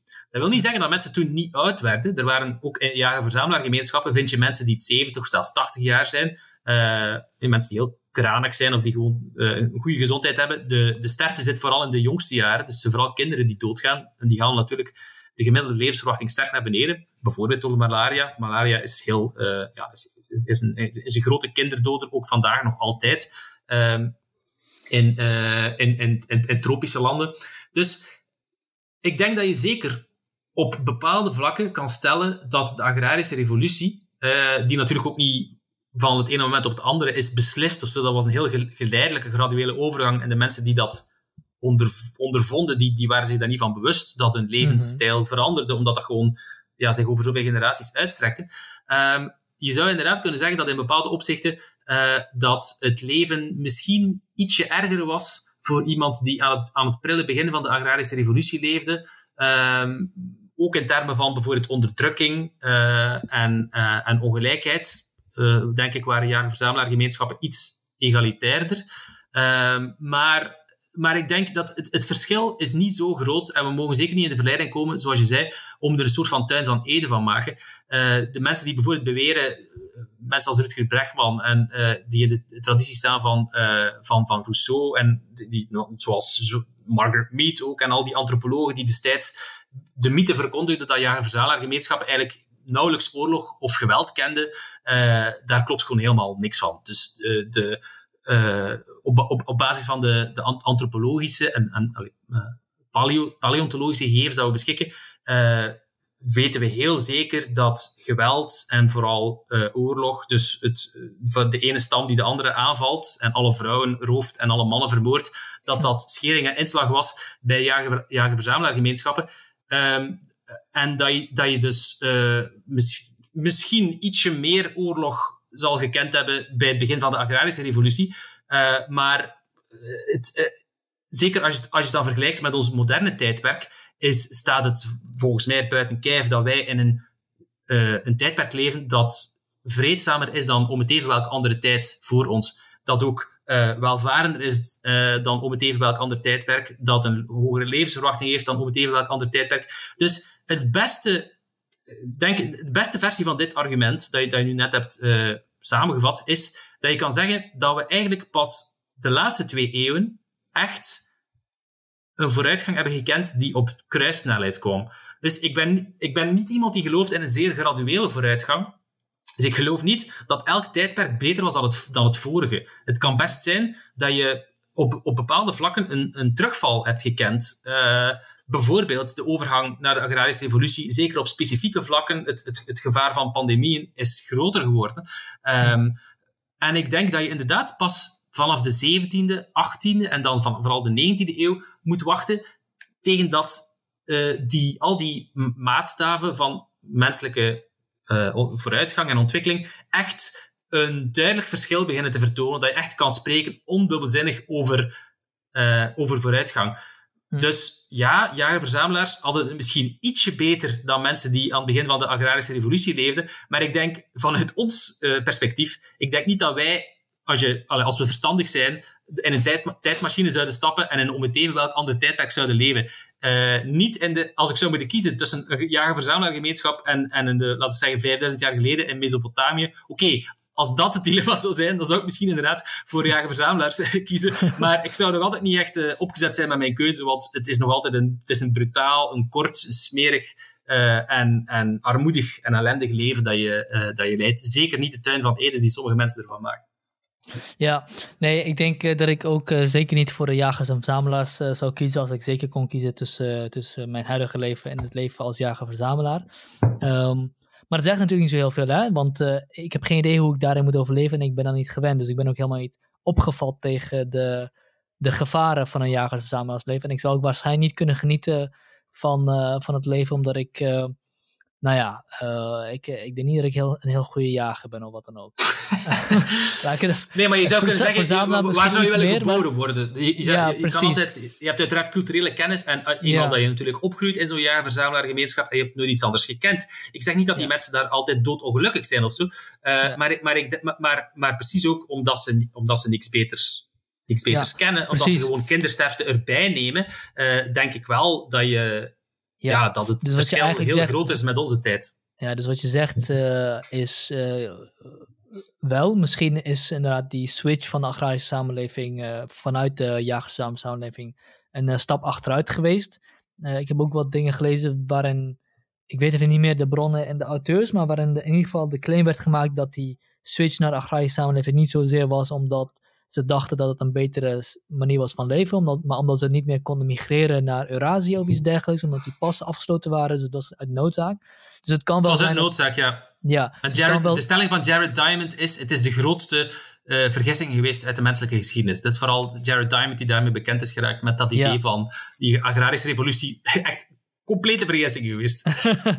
dus het kan wel best wel zijn dat dat, dat uh, toen, uh, toen voor een le lagere levens standaard zorgde. Maar dat wil niet zeggen dat we eh, in de eeuwen daarna en millennia daarna ervoor gezorgd hebben dat we nu op een veel betere en een uh, veel betere levenskwaliteit hebben dan voor die agrarische samenleving. Het is niet zo dat Precies, ja. als je eenmaal omlaag gaat uh, in de kwaliteit, dat je alleen maar omlaag kan en niet verder omhoog kan. Toch? Is dat een beetje... Zeg dan, zeg dan nog eens het laat, laatste ja, dus het is niet zo dat als we eenmaal omlaag gaan in levenskwaliteit, dat we alleen maar omlaag kunnen en niet nog een keer omhoog kunnen gaan, verder voorbij onze beginpunt. Ja, ja precies. Het is ook zo, uh, um, als we als jager-verzamelaars hadden blijven leven, hadden we per definitie nooit de, de, vooruitgang gekend die we vandaag kennen, want daar heb je sedentaire samenlevingen voor nodig. Daar heb je een, uh, een, aparte klasse voor nodig die zich bezighoudt met ja, nadenken en dingen uitvinden, die uh, een, een een, geheel, een, een, kennis gaat opbouwen, dus die ook dingen op papier gaat zetten en, en die bibliotheken enzovoort. Dus je hebt cumulatie nodig van, van culturele kennis. En uh, je zou misschien wel kunnen zeggen dat het, dat het een, een tijd lang geduurd heeft tegen dat die agrarische revolutie echt iets begon op te leveren. In de zin van, ja, tegen dat je dan echt uh, van een verlaging terug naar een verhoging gaat van levensstandaard, daar kunnen we over discussiëren wanneer dat, dat precies gebeurd is. En dat, denk de vraag die daar, daarbij vooral moet stellen is, ja, voor wie? Uh, er zijn natuurlijk mensen, ja. Romeinse senatoren bijvoorbeeld, uh, of patriciërs in het Romeinse Rijk, ja, die hadden natuurlijk een veel betere levensstandaard dan, de, dan de gemiddelde Romein of de gemiddelde slaaf, uiteraard. En die kloof was groter dan in agrarische gemeen, dan in, sorry, jager-verzamelaargemeenschappen, omdat er gewoon, ja, in een sedentaire samenleving is er meer mogelijkheid om gewoon uh, rijkdom te accumuleren en om andere mensen te gaan onderdrukken. Um, ik denk, de, de, het, als, je, als, je, als, je, als het gaat over de levensstandaard van de, de, de gewone man, de, de, de gewone uh, boer of de gewone landbouwer, dan denk ik inderdaad dat je moet gaan wachten pas tot in de 19e eeuw totdat je een grote verbetering zag. Voor de rijke mensen was er al, was er al veel langer. De, ja, de Romeinen die hadden, die hadden centrale verwarming en die, hadden, die konden ijs in hun, in hun wijn doen en die, uh, ja, die, die werden uh, bedoel, de, voortdurend onderhouden en in, in, in, in comfort gehouden door een ja, personeel dat, dat gewoon uh, daartoe gedwongen werd. de, en, de grote verbetering... We, als we even teruggaan nog naar Rousseau. Um, Rousseau, heeft, uh, uh, Rousseau is bekend geworden, of, ik ben, hij was al bekend volgens mij, in ieder geval een van zijn belangrijke essays is waarin hij uitlegt dat de mens in een maatschappij alleen maar verderfelijker wordt en slechter wordt. Uh, en daarin gaat hij, gaat hij in tegen, volgens mij toen de tijd, wat redelijk algemene kennis, namelijk dat maatschappijen over de mens in een maatschappij veel beter en schoner is dan, dan de savages. Um, ik kan me eigenlijk willen voorbereiden door eh, dat eh, te lezen van Rousseau, maar ik ben er gewoon helemaal niet aan toegekomen. Dus hopelijk uh, weet jij er iets van. Maar ik zal even wat dat idee een beetje parafraseren of een beetje uit de losse pols gooien. En ik denk dat het wel, een beetje aansluit bij Rousseau zoals ik hem ken van hoe ik het tijdens mijn opleiding geleerd heb. Um, ja, precies. Want vandaar is Rousseau wordt ja, soms als een, eh, tot, een, tot de verlichting gerekend, maar eigenlijk neemt hij een heel speciale plaats in die verlichting, omdat hij precies um, ja, de hele menselijke beschaving eerder als een, als een achteruitgang ziet uh, ja. ten opzichte van een aardsparadijs dat er ooit geweest is.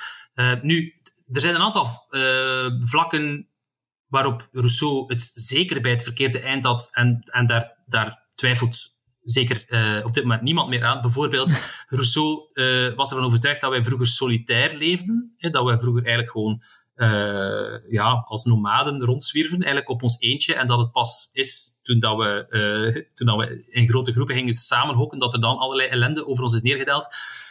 ja, daarvan weten we uiteraard dat het, die, die tijd is er nooit geweest. Mensen zijn altijd een sociale diersoort geweest, hebben altijd in stamverband geleefd. Um, Rousseau was er ook van overtuigd dat bezit niet bestond. Dus eh, je hebt dat beroemde citaat waarin hij zegt, ja, de, de, eerste man die een stuk grond heeft afgebakend en die heeft gezegd, dit is van mij, dat is de grootste, die heeft het grootste verderf over de mensheid ja. uitgestort.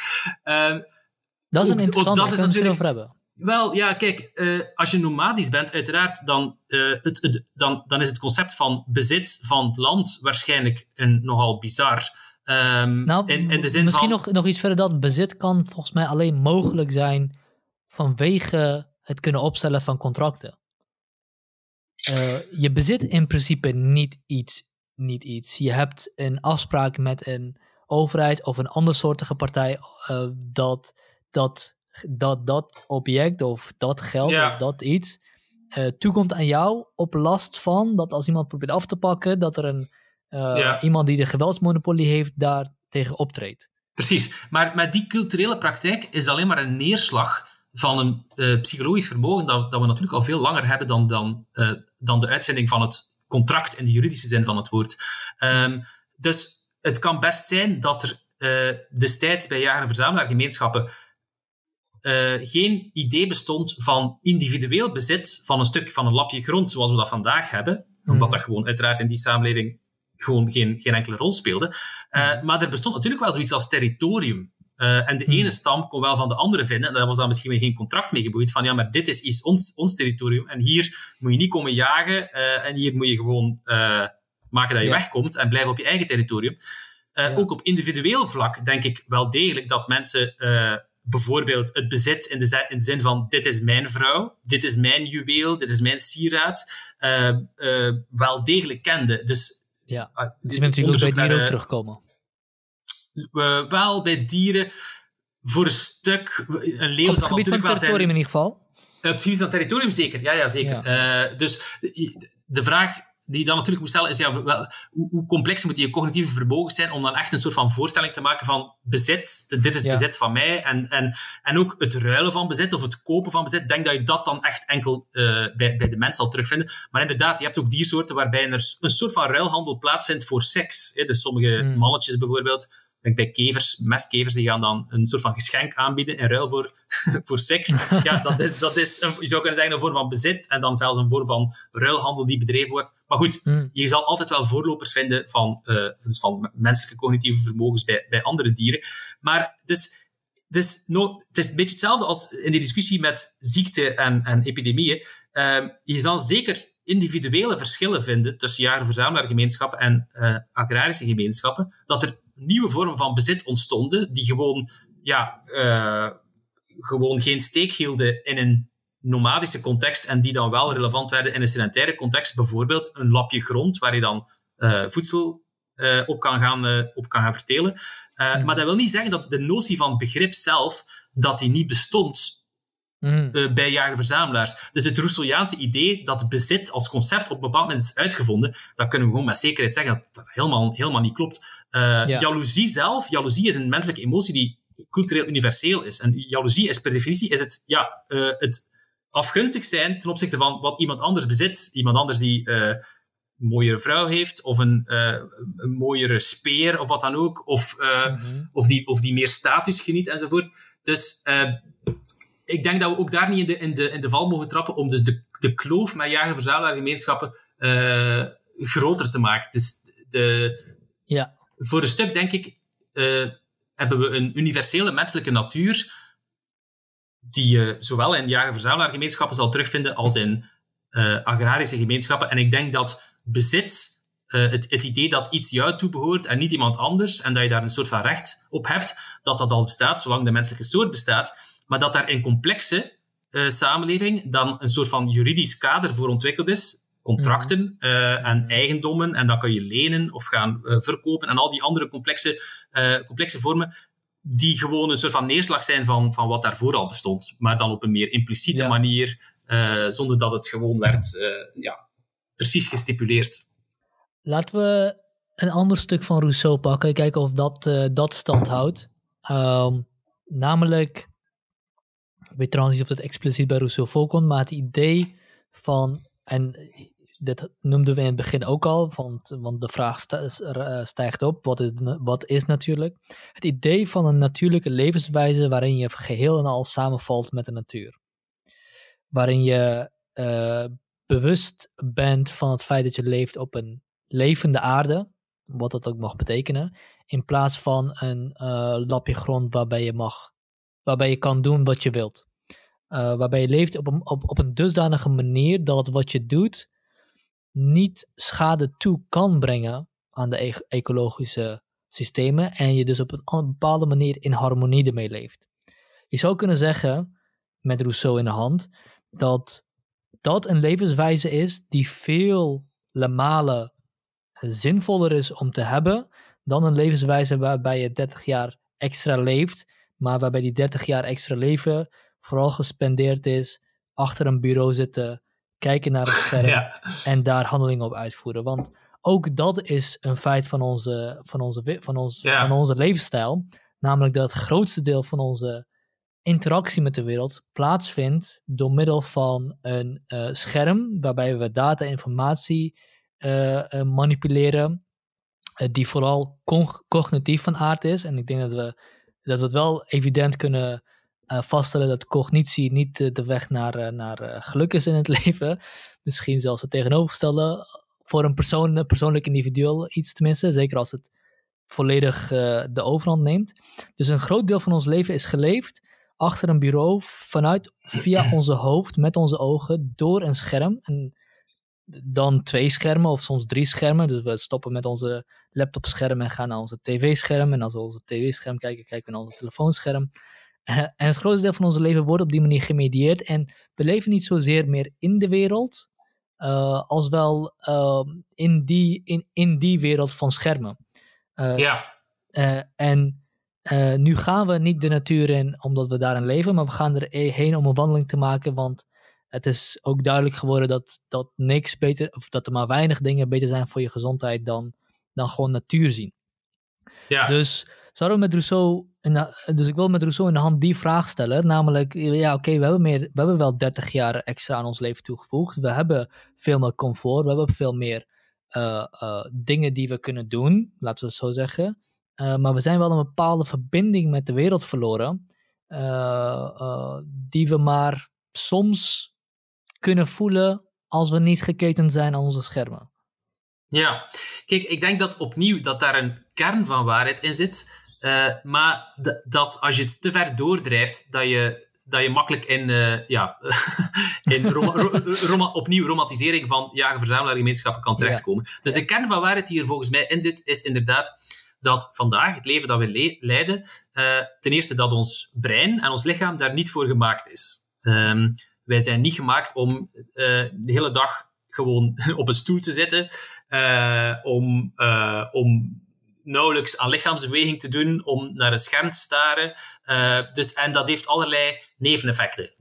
En, en, die neveneffecten, die moeten we, daar moeten we dan weer ja, labmiddeltjes voor vinden. Ik, ja, denk nu bijvoorbeeld aan het blauw licht dat uit mijn scherm komt. Ik heb zo'n filter die ik vanaf 9 uur s'avonds aanzet, omdat onderzoek heeft uitgewezen dat ja, anders dus de melatonine die je aanmaakt in je hersenen om, om te slapen, dat die anders verstoord wordt door dat blauw licht. Dat is maar één heel klein voorbeeld, maar dus in het algemeen denk ik dat onze uh, technologische samenleving, waarin we vandaag leven, uh, die natuurlijk compleet verschilt van de omgeving waarin onze voorouders geëvolueerd zijn, dat die een aantal problemen met zich meebrengt. Als je alleen maar in een stad leeft waar, zelfs, ja, waar, waar geen, geen bomen of geen groen meer is, en dat, dan denk ik wel ook dat je kan aantonen dat je daar niet gelukkig van wordt. Dus ik denk dat je op een of andere manier wel een gevoel van verbondenheid moet, moet hebben met, met de natuur. En mensen ervaren dat ook. En je kan dat ook wetenschappelijk, je kan, je kan het met de beste wetenschappelijke methodes gaan onderzoeken, dat precies uh, een, een gevoel van contact met de natuur, met dieren, met planten, met bomen enzovoort, uh, dat, dat, dat dat mhm. goed is voor ons mentaal welzijn. Aan de andere kant, en daar is dan denk ik waar ik, uh, waar ik ja, er vrij radicaal ingaat tegen wat, wat Rousseau daarover verkondigt. Uh, namelijk dat het is niet omdat mensen destijds in die natuur leefden en natuurlijk geen last hadden van al die uh, kwaaltjes van onze moderniteit waar wij wel last van hebben. Schermen en, en, en smartphones en wat weet ik allemaal. Um, en uh, dat, we, dat betekent niet dat zij daarom in een soort van harmonie met die natuur leefden. Um, er zijn heel wat aanwijzingen dat bijvoorbeeld jager-verzamelaargemeenschappen lang voor de agrarische revolutie um, voor de uitroeiing van een aantal grote landdieren hebben gezorgd, hm. vooral in Noord-Amerika, maar eigenlijk overal waar ze voet aan land zetten. Dus je kan dat ongeveer um, ja, een soort van paleontologische who done it. Telkens wanneer de mens zich ergens verspreidt op een nieuw continent, zie je, mysterie, mysterie, dat uh, vrij korte tijd daarna dat een aantal grote landdieren, dus waarschijnlijk de smakelijkste of de traagste die het makkelijkst konden uh, kon gaan opjagen, dat die gewoon uit het uh, fossiele bestand verdwijnen. Dus ja. um, ook een jager-verzamelaar uh, kan behoorlijk wat ecologische schade aanrichten. Je kan zelfs gaan stellen dat per capita, dus als je gaat kijken naar de ecologische voetafdruk van onze levensstijl ten opzichte van die van jager-verzamelaars, onze levensstijl is natuurlijk veel welvarender, uh, maar die van jager-verzamelaars is voor een stuk veel groter, omdat je per hoofd van, een, uh, van de bevolking een veel groter gebied nodig hebt om in je, uh, ja, in je voedsel en in je levensonderhoud te voorzien. En er zijn al een aantal bizons of herten die op een vierkante kilometer grond kunnen, kunnen grazen. dus uh, ik, ik heb wel eens gelezen dat als, als we terug, stel, stel dat we terug allemaal als jager-verzamelaar zouden gaan leven, dan zou onze planeet hoogstens 100.000 of 200.000, een populatie van 100.000 of 200.000 mensen uh, aankunnen. Dus hmm. in die zin is een agrarische levensstijl zoals wij die hebben, is die net ecologisch minder belastend, omdat we voor een stuk niet meer afhankelijk zijn van die wilde natuur, omdat we ons voedsel zelf gaan verbouwen op een veel kleiner oppervlakte. En zeker als je dan gaat kijken naar onze moderne levensstijl, zelfs met alle welvaart die we erbij krijgen, waar we natuurlijk ja, enorm veel voordeel genieten ten, opzichte van die jager-verzamelaars, denk ik niet dat je dus kan stellen dat wij de grootste ecologische schade aanrichten.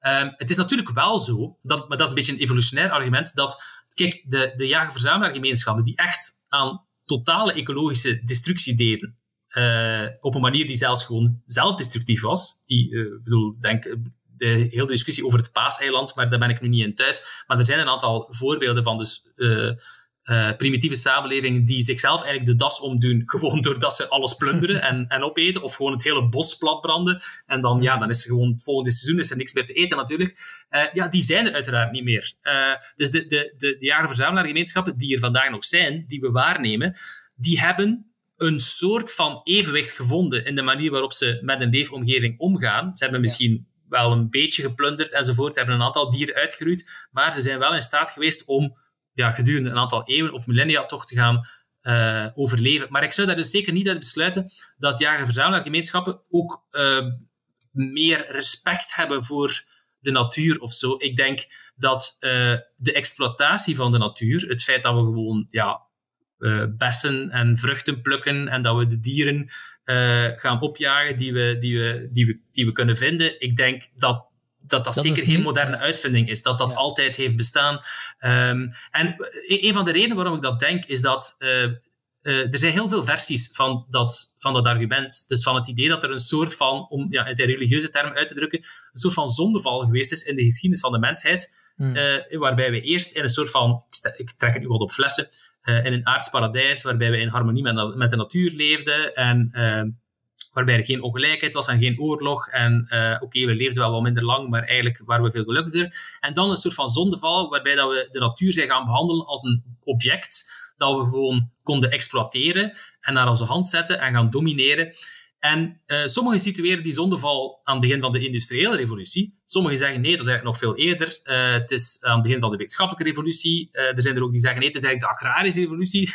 De, toen, is het eigenlijk allemaal ver, verkeerd gegaan. En het feit dat er verschillende versies bestaan van, die, van, dat, van dat verhaal van de zondeval, doet me wel een beetje twijfelen of dat, dat, er, dat, of, of dat die zondeval er ooit geweest is. Dus ik, ik, ik denk dat de, de manier waarop we de natuur exploiteren en aan onze hand zetten, die is radicaal veranderd. We zijn gewoon, ja, we hebben veel meer macht over de natuur verworven, gewoon door technologie en door vooruitgang. Maar de mentaliteit waarbij dat mensen gewoon gebruik maken van de natuur, zoals ook in de Bijbel staat, eh, ja, gewoon, je bent heren, de, de dominion, dus meesterschap, uh, over, over, de, over de wereld, waarbij je gewoon gebruik kan maken van de dieren en de planten die er zijn. Ik denk dat dat zo uit is als, de, als, als ons menselijke soort. Ja, wat je dus zegt is, uh, een belangrijk ding wat je noemde ook uh, in deze uitleg was het verschil tussen vormen van jagers-verzamelaars samenleving. Het is niet evident, omdat we nu jagers-verzamelaars zien die nog nu overleven, die wel een bepaalde balans hebben in, in de omgeving waar ze leven, dat dat niet evident betekent dat elke vorm van jagers-verzamelaars een, een soort balans met, met, met hun natuurlijke omgeving hebben. En dat zien we dus ook terug in onderzoek waarin bepaalde gewoon landdieren gewoon uitgegroeid worden zodra daar mensen komen wonen.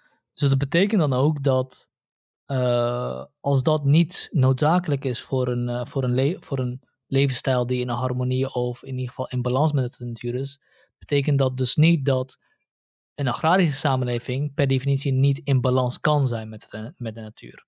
Het heeft te maken met de manier waarop we de natuur exploiteren. Exploiteren klinkt natuurlijk negatief, maar ik bedoel het gewoon in de technische zin van het woord, exploiteren. Uh, ja, dus het gaat er niet zozeer om de volledige levensstijl, maar hoe we gebruik maken met de, laten we zeggen, natuurlijke bronnen van onze, van onze omgeving. Precies, en uh, wat, wat, dat betreft is er volgens mij ook een, een enorme misvatting in heel dat idee van in harmonie leven met de natuur. Uh, ik, ik ben er ook voor. Uh, dus ik, ik, ben, ik vind ook dat we meer respect moeten hebben voor de natuur en dat we een kleiner beslag moeten leggen op de natuur. Ehm, maar daar waar de meeste mensen denken dat in harmonie leven met de natuur betekent dat je gewoon uh, bijvoorbeeld uh, ja, de, de, de, de, vruchten plukt van, van, wat, van, van, wat je in de natuur kan vinden, dat je aan organische landbouw doet enzovoort, um, denk ik net dat harmonie met de natuur wil zeggen dat je zoveel mogelijk afstand moet nemen van de natuur en de natuur zijn vrije loop moet laten gaan en zo weinig mogelijk die natuur te gaan exploiteren. Het, le het hmm. leven van een jager-verzamelaar is, legt een veel groter beslag op de natuur door het feit dat, dat, we gewoon, dat je in, in je volledige levensonderhoud afhankelijk bent van wat een ecosysteem jou levert. Terwijl onze moderne samenleving, denk aan een, een, een heel doorgedreven voorbeeld zoals verticale landbouw, uh, het precies mogelijk maakt om een stuk uh, terug aan de natuur te gaan offeren. Dus uh, een stuk land uh, waar we vroeger beslag op legden, kunnen we nu net via moderne technologie uh, gaan terugschenken aan de natuur. En de ironie is dat dus in de, in de hoofden van veel mensen, die, die vinden dat we moeten terug in harmonie leven met de natuur, is die hoogtechnologische landbouw, is dat net verkeerd. En zij willen net meer teruggaan naar uh, organische landbouw bijvoorbeeld, waarbij je geen gebruik maakt van kunstmest, geen gebruik maakt van pesticiden, vanuit het idee dat je dan meer in harmonie met de natuur leeft, terwijl net het tegenovergestelde volgens mij het geval is. Um, als je minder productieve landbouw hebt, met minder technologische middelen, dan heb je meer landbouwgrond nodig. En landbouwgrond is een gigantische verstoring van de natuur. Landbouw is helemaal niet natuurlijk, het is kunstmatig per definitie. Um, bijna. Dus uh, het, ja, het, het, het nog, nog, een andere paradox is namelijk dat uh, de intensieve veehouderij, dus laten we zeggen factory farming, neemt veel minder land in dan biologische uh, veehouderij. Uh, en het is inderdaad land dat een van de grootste problemen is. Als je niet wegneemt dat intensieve veehouderij ook gepaard gaat met enorm veel onnodige leed. En, en horrorverhalen over hoe met dieren omgegaan wordt. Maar daar zit inderdaad wel een paradox, zoals je, zoals je zegt. Precies. En bij het intensieve veeteelt is het ook zo. Dus uh, wanneer mensen zeggen dat intensieve veeteelt een, een, dus een enorm schadelijke impact heeft op het klimaat en op het milieu, dan ligt het er natuurlijk aan waar je de klemtoon op legt. Uh, is het intensieve veeteelt of is het intensieve veeteelt? Dat wil zeggen, uh, wat is je referentiepunt? Andere vormen van veeteelt? Ja, dan is intensieve veeteelt net veel beter. Want ja. hoe intensiever, hoe minder beslag dat je legt op de natuur. Maar als je uh, veeteelt vergelijkt met andere vormen van voedsel, ja, dan is intensieve veeteelt uiteraard slechter. Het is nog altijd slechter om gewoon geen rundvlees te eten. Ja. Maar als je dan toch rundvlees eet, als je zegt van ja, ik kan het echt niet laten, want ik vind het zo lekker, of whatever.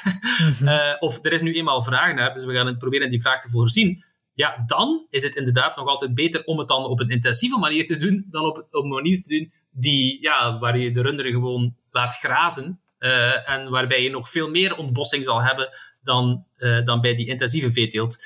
Um, dus het, het, is niet het, het, intensieve is niet het probleem. Het is eerder de veeteelt zelf die het probleem is. En binnen de veeteelt is het intensieve dan nog het minst van alle kwaden. Ja, als je kijkt naar uh, ecologische problemen, als je kijkt naar het leed wat dieren aangedaan wordt, is het een heel ander verhaal. Want oh ja, nemen, uiteraard. Ja, dat, ja, dat dus, ja. Dus dat hebben we nu niet meegenomen, want, want dat leed... Kijk, dieren kunnen natuurlijk zichzelf niet uiten, die kunnen natuurlijk niet voor zichzelf staan. En, uh, en we, we hebben toch heel vaak het idee dat, dat het leed van een dier minder belangrijk is dan die van een mens. Maar het is, leed is leed, zou ik willen zeggen. En uh, ja? Ja, dat, dat, wel, dat klopt. Maar ik, uh, nu, dat, dat, is een, dat is een filosofische discussie van ja. waar trek je de grens? Dus welke dieren kunnen lijden, welke dieren kunnen niet lijden. We zijn intuïtief geneigd om te denken, ja, ofwel leid je, ofwel leid je niet. Uh, dus het is een soort van vermogen dat je, waarover je ofwel beschikt ofwel niet beschikt, zoals een mhm. lampje dat je aan en uitknipt. Maar van het evolutionair oogpunt is dat eigenlijk zeer onwaarschijnlijk. Dus bijna alle uh, adaptaties in, in, in de natuur zijn, komen in gradaties, zijn heel geleidelijk aan ontwikkeld. Dus we zouden eigenlijk er moeten van uitgaan dat er dieren zijn die ja, in meer of mindere mate een klein beetje kunnen lijden, of een zeer primitieve vorm van lijden kunnen hebben.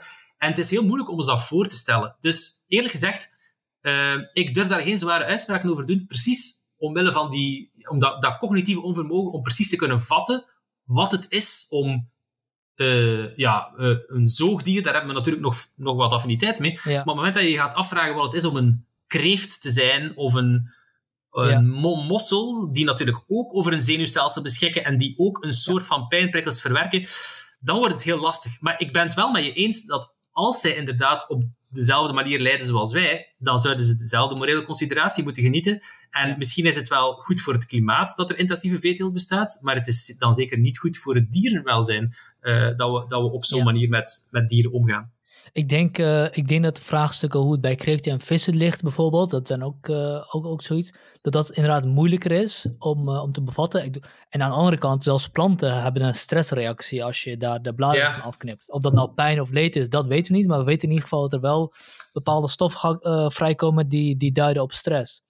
maar het is denk ik bij vee evident dat een moeder lijdt als het gescheiden wordt van het kalfje en dat het dat, de beelden die we daarvan zien, zijn, zijn volgens mij wel, die ik gezien in ieder geval, spreken voor mij heel goed uh, dat, daar, dat daar een vorm van leed plaatsvindt die misschien niet op hetzelfde niveau is van, van een mens. Hoewel ik die vergelijking echt niet wil maken, maar ik ga wel met je mee. Maar dat alsnog wel van een dusdanig niveau is dat het verwerpelijk is om een dier dat aan te doen. En dan is de vraag, ben je aan het antropomorfiseren of niet? Uh, maar dat is inderdaad omdat je. Ik, ik heb ook die, die neiging. Als ik mijn kat zie. Ik heb uh, een tijdje geleden heb ik uh, per ongeluk met mijn, mijn zware laars op de pot van mijn kat getrapt. Ja. ze was nog een kitten, dus dat was natuurlijk. Ja, ik was in paniek, want ik dacht, ik heb waarschijnlijk haar pootje gebroken of zo. Dus daar ben ik mee naar de dierenarts gegaan, met de taxi enzovoort. Dus dat is een heel emotionele, spontane reactie, omdat je empathie hebt met dat dier en natuurlijk ook omdat ik het, het leed, het, het, het leed zelf heb toegebracht. Daar voel ik me er nog schuldig over ook. Maar is het daarom de rationele houding? Ga ik er daarom van uit dat ik nu goede argumenten heb om uh, dus echt een soort van ja, subjectieve ervaring van pijn aan mijn kat toe te schrijven? Dat weet ik niet. En het is precies ook omdat je zegt uh, als je kijkt naar de beelden van een kalf dat van zijn, van zijn moeder wordt gescheiden, bijvoorbeeld, ja, het, het lijkt zo vanzelfsprekend. En het is, dat, het is iets dat ons zo emotioneel aangrijpt, dat het mij ook een beetje achterdochtig maakt. Want ja.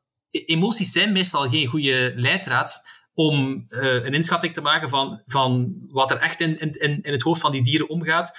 Zoals je zegt, zelfs planten hebben een bepaalde vorm van stressreactie waarop, waarop ze kunnen reageren. En ook daar zelfs, je zou, ja, je zou het heel ver kunnen drijven, ook daar een soort van pijn of een negatieve ervaring aan gaan toeschrijven.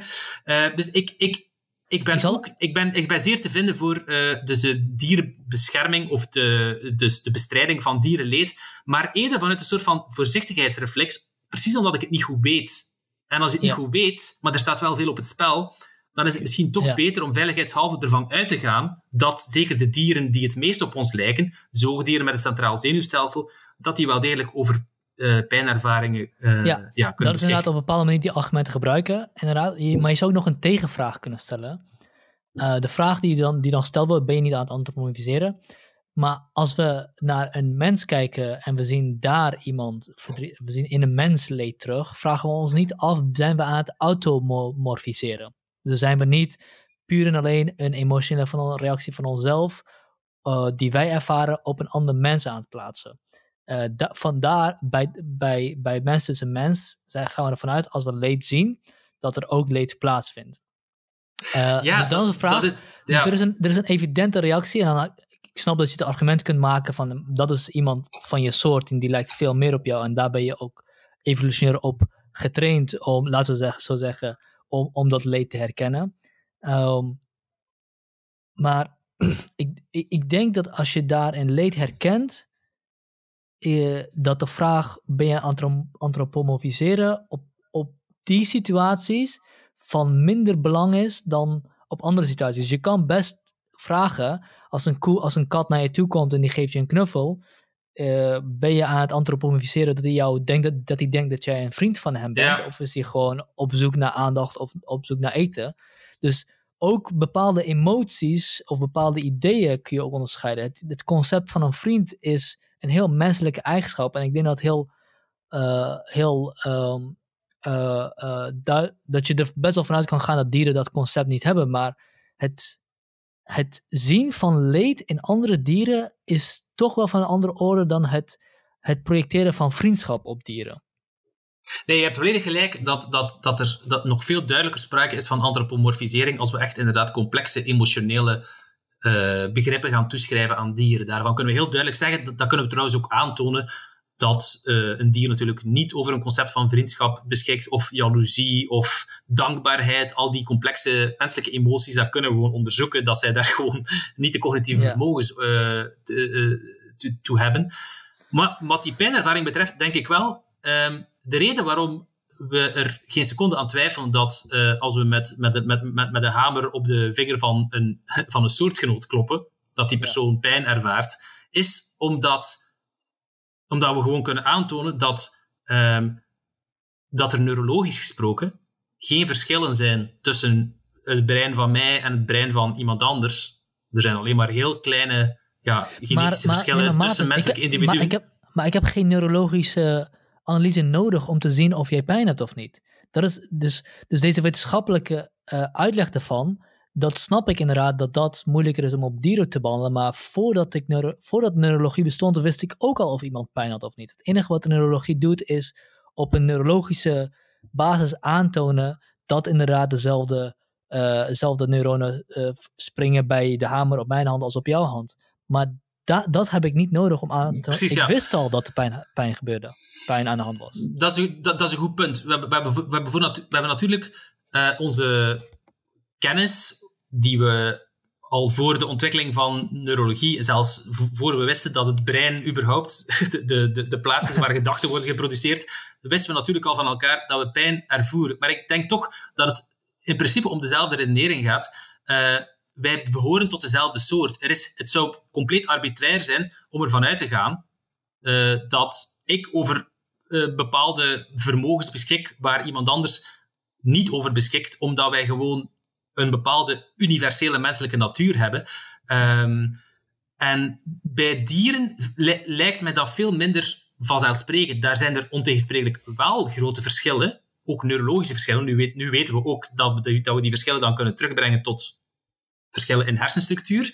Mm -hmm. um, en aangezien we weten dat alle verschillen in mentale ervaringen terug te brengen zijn tot verschillen in neurologie, weten we niet goed wat die verschillen in neurologie precies betekenen of hoe die zich uh, vertalen in bewustzijnservaring. Ook in de filosofie weet men nog altijd niet precies waarom wij subjectieve ervaringen van, zelfs waarom mensen subjectieve ervaringen van pijn hebben, waarom eigenlijk levenloze materie toch in een heel bijzondere constellatie in ons brein aanleiding kan geven tot bewuste ervaringen van pijn. We weten alleen dat ze er zijn, en we weten dat het arbitrair zou zijn, dat het compleet arbitrair zou zijn om ze te ontkennen bij soortgenoten. En dan de volgende stap is, we vermoeden, we hebben misschien zeer sterk vermoeden, maar ik, ik denk dat mijn vermoeden is minder sterk dan bij, bij veel andere mensen en bij, bij jou misschien, dat het voor andere diersoorten uh, ook zo geldt. Da daar, daar is het al ietsje wankeler, denk ik, de redenering.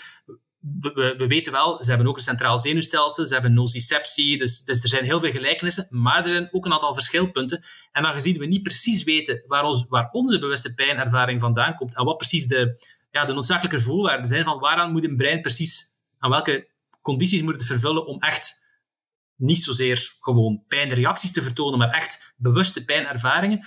Daarom denk ik ook dat het niet zo evident is dat we dat aan andere dieren gaan toekennen. Maar no nogmaals, ik denk in de praktijk gaan wij niet zoveel van meningen verschillen, omdat ik, omdat ik vind dat we ook het zekere voor het onzekere moeten nemen, zolang dat we het gewoon niet kunnen uitsluiten. Ook ja. voor die kreeft trouwens, is het misschien maar beter dat we het zekere voor het onzekere nemen, want wie weet komen we ooit tot de ontdekking ja, dat die ja. kreeft, misschien zelfs insecten, dat die toch dat zou verschrikkelijk zijn. Stel je voor dat insecten ook nog eens pijn kunnen ervaren, dan zouden we bij wijze van spreken geen vliegen meer mogen doodkloppen. Uh, dus, dat, dus daar moeten we ja. toch een slag om de arm houden, denk ik. Uh, en, en proberen om ja, zo weinig mogelijk potentieel leed te gaan veroorzaken. Ja, ik denk dat het ook te maken heeft met, uh, met, met is de leed die je veroorzaakt noodzakelijk of niet. Dus uh, als, stel je voor, we, we, komen ooit tot de realisatie, dieren en planten ervaren op dezelfde manier leed als, als jij en ik. En, en komen dan tot een besef, nou, ik wil niet dat, dat de leed die ik niet ervaar, anderen ook niet ervaren. Dan is er nog steeds maar de vraag, maar ga je dan stoppen met, met eten? En ik denk dat dat niet het geval kan zijn. Ik denk niet dat je dat gerechtvaardig is om, om niet in je eigen levensvoorziening uh, uh, te werken voor je eigen levensvoorziening. Dus ik denk zelfs dat in dat geval zal je het argument kunnen maken: oké, okay, dan, dan eten we dieren niet, maar planten gaan, blijven we nog steeds wel eten. Wetende dat, dat wetende, even ervan uitgaan dat de hypothese klopt, um, dat uh, zij dezelfde leed ervaren als ik wanneer mijn arm afgehakt wordt. dus ook het vermijden van leed op zichzelf kan niet de uiteindelijke doelstelling zijn, maar wel het vermijden van noodzakelijk of on, onnoodzakelijk leed.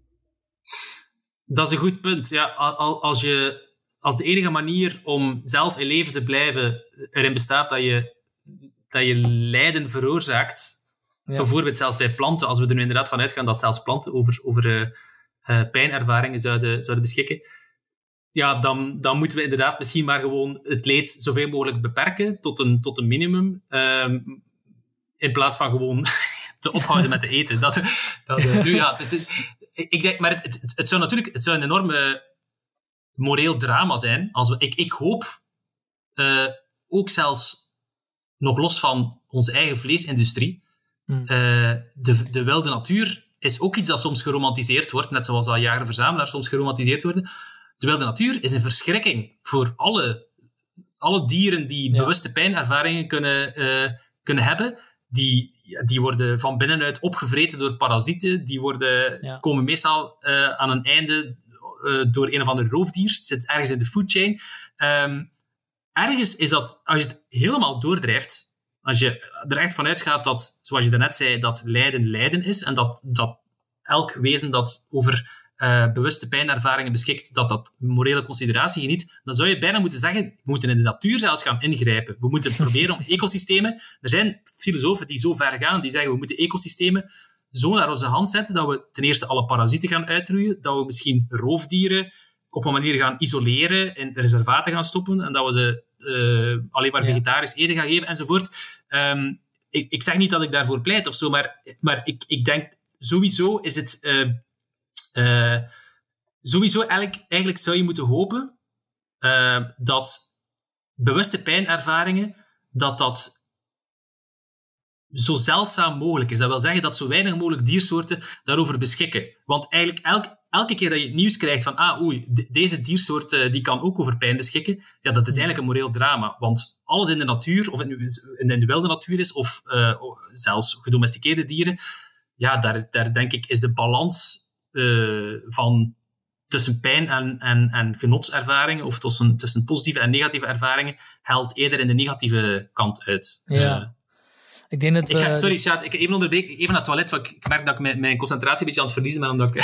we kunnen ook, Ja, eh, het we kunnen ook moet afsluiten, want we zijn best wel lang, lang aan het spreken. Eh, en eh, ik vind het ook best wel eh, prima om dit eh, draadje op te pakken op een volgende keer. Want ik denk dat, eh, dat we Oh, hier ja. op, op een stuk uitkomen wat, waar we misschien zelfs naar eh, wat boeddhistische filosofie kunnen kijken. In de zin van dat het leven leiden is. Of misschien Schopenhauer om wat dichter bij huis te houden. Maar ik, ik vind dit best wel een mooi afgerond geheel voor, eh, voor wat we besproken hebben. Eh, Oké, dat is uit- goed, ja. ja, we zijn uitgekomen bij, eh, bij leed. En eh, wat doe je met, met het, met het idee dat, dat het leven vol zit met leed? En wat, hoe ga je daarmee om? Dat, dat raakt ook aan de klimaatdiscussie en, en dergelijke. Ja.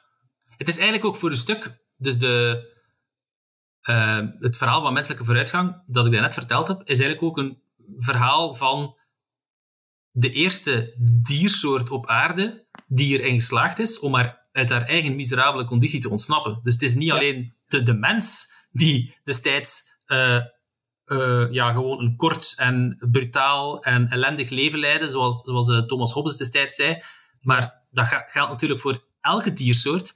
En voor een stuk geloof ik wel dat, ehm, omdat wij nu als mensheid voldoende kennis hebben verworven en voldoende technologische mogelijkheden, dat wij in principe ook, zelfs voor andere diersoorten, misschien zelfs de beste hoop zijn op een beter leven. Nu klink ik misschien een beetje, misschien een beetje evangelisch of zo, maar ik wil zeggen, eh, dit is de eerste keer in de geschiedenis van de planeet dat er een diersoort is die intelligent genoeg is om zich bewust te zijn van andere dieren, om daar een Mhm. voorstelling van te maken, en om zich daar ook iets van aan te trekken, om, te gaan, zich, om, te, om zich te gaan bekommeren om het leed van andere dieren, om zich te gaan bekommeren om de toestand van de hele planeet, om ervoor te zorgen dat er geen dramatische klimaatopwarming is, om er misschien ook voor te zorgen als er ergens eh, eh, gigantische bosbranden zijn, dat de natuur zich weer kan herstellen, als er een asteroïde op ons afkomt, dat die wordt afgebogen of zo. Dus vroeger, uiteraard, was die menselijke factor er niet. En dan was het gewoon de ene ramp na de andere. Ja. En nu, voor het eerst in de geschiedenis, is er een diersoort die eh, niet alleen voor zichzelf, maar ook voor de rest van de natuur misschien een betere wereld kan tot stand brengen dan er de afgelopen mm, 3 miljard jaar geweest is. Want Ja. die, dat leven voor die andere diersoorten, als we er nu even van uitgaan, dat die inderdaad lijden, en dat lijkt mij plausibel, zeker voor de gewervelde dieren eh, met een centraal zenuwstelsel. Ja, dat was eh, niet bepaald een pretje. Dat is Ja. eigenlijk een verschrikking om, eh, om het even welke andere diersoort te zijn, denk ik. ja. Je geeft ons hier wel een grote verantwoordelijkheid mee als mensheid. Ja, ehm, de- da- daarom ook dat ik, dat ik mijn boek eindig met het idee dat niet zozeer hoogmoed het probleem is, maar valse bescheidenheid. Omdat je in, in veel klimaatboeken kom je dat idee tegen en da- dan eh, verwijs ik opnieuw terug naar de, de zondeval. Dus eh, vroeger leefden we in harmonie met de natuur, maar dan plots werden we heel arrogant en gingen we de natuur exploiteren enzovoort. Uh, en de oplossing van veel klimaatactivisten is dan, we moeten terug bescheidener gaan leven, we moeten terug onze plaats kennen als dier onder de dieren. Uh, ik denk net dat we het tegenovergestelde moeten doen. Ik denk net dat we veel meer ambitie moeten tonen, Ten eerste omdat het probleem gewoon zo'n grote omvang heeft dat, dat we het enkel met ambitie gaan waarmaken en niet met een soort van valse bescheidenheid. En, uh, en ook dat, dat onze grote macht ook voor grote verantwoordelijkheid zorgt. Vroeger wisten we gewoon niet beter. We wisten niet eens wat CO2 was. We, we, we hadden gewoon niet de mogelijkheden om ja, iets te veranderen aan gewoon de miserabele conditie van, niet van onze eigen soortgenoten aan de andere kant van de wereld, laat staan die van andere dieren. Maar vandaag komen we in een toestand waar we steeds meer uh, mogelijkheden gaan ontwikkelen om ons wel te gaan uh, ontfermen over andere diersoorten, over de hele natuur. En hoe meer macht dat je natuurlijk verwerft, hoe meer verantwoordelijkheid dat je krijgt om er iets aan te gaan doen. Want er is gewoon niets, niets anders. Er is geen andere hogere macht uh, dat is natuurlijk mijn overtuiging als atheïst, maar er is geen andere hogere macht die dat voor ons zal doen. Wij zijn de enige diersoort die intelligent genoeg is en, en die over voldoende macht beschikt om zoiets klaar te spelen. Mooi, dankjewel. Ik denk dat, uh, dat dit een mooi einde is van, uh, van een mooi gesprek. Dankjewel voor je tijd. Is graag gedaan.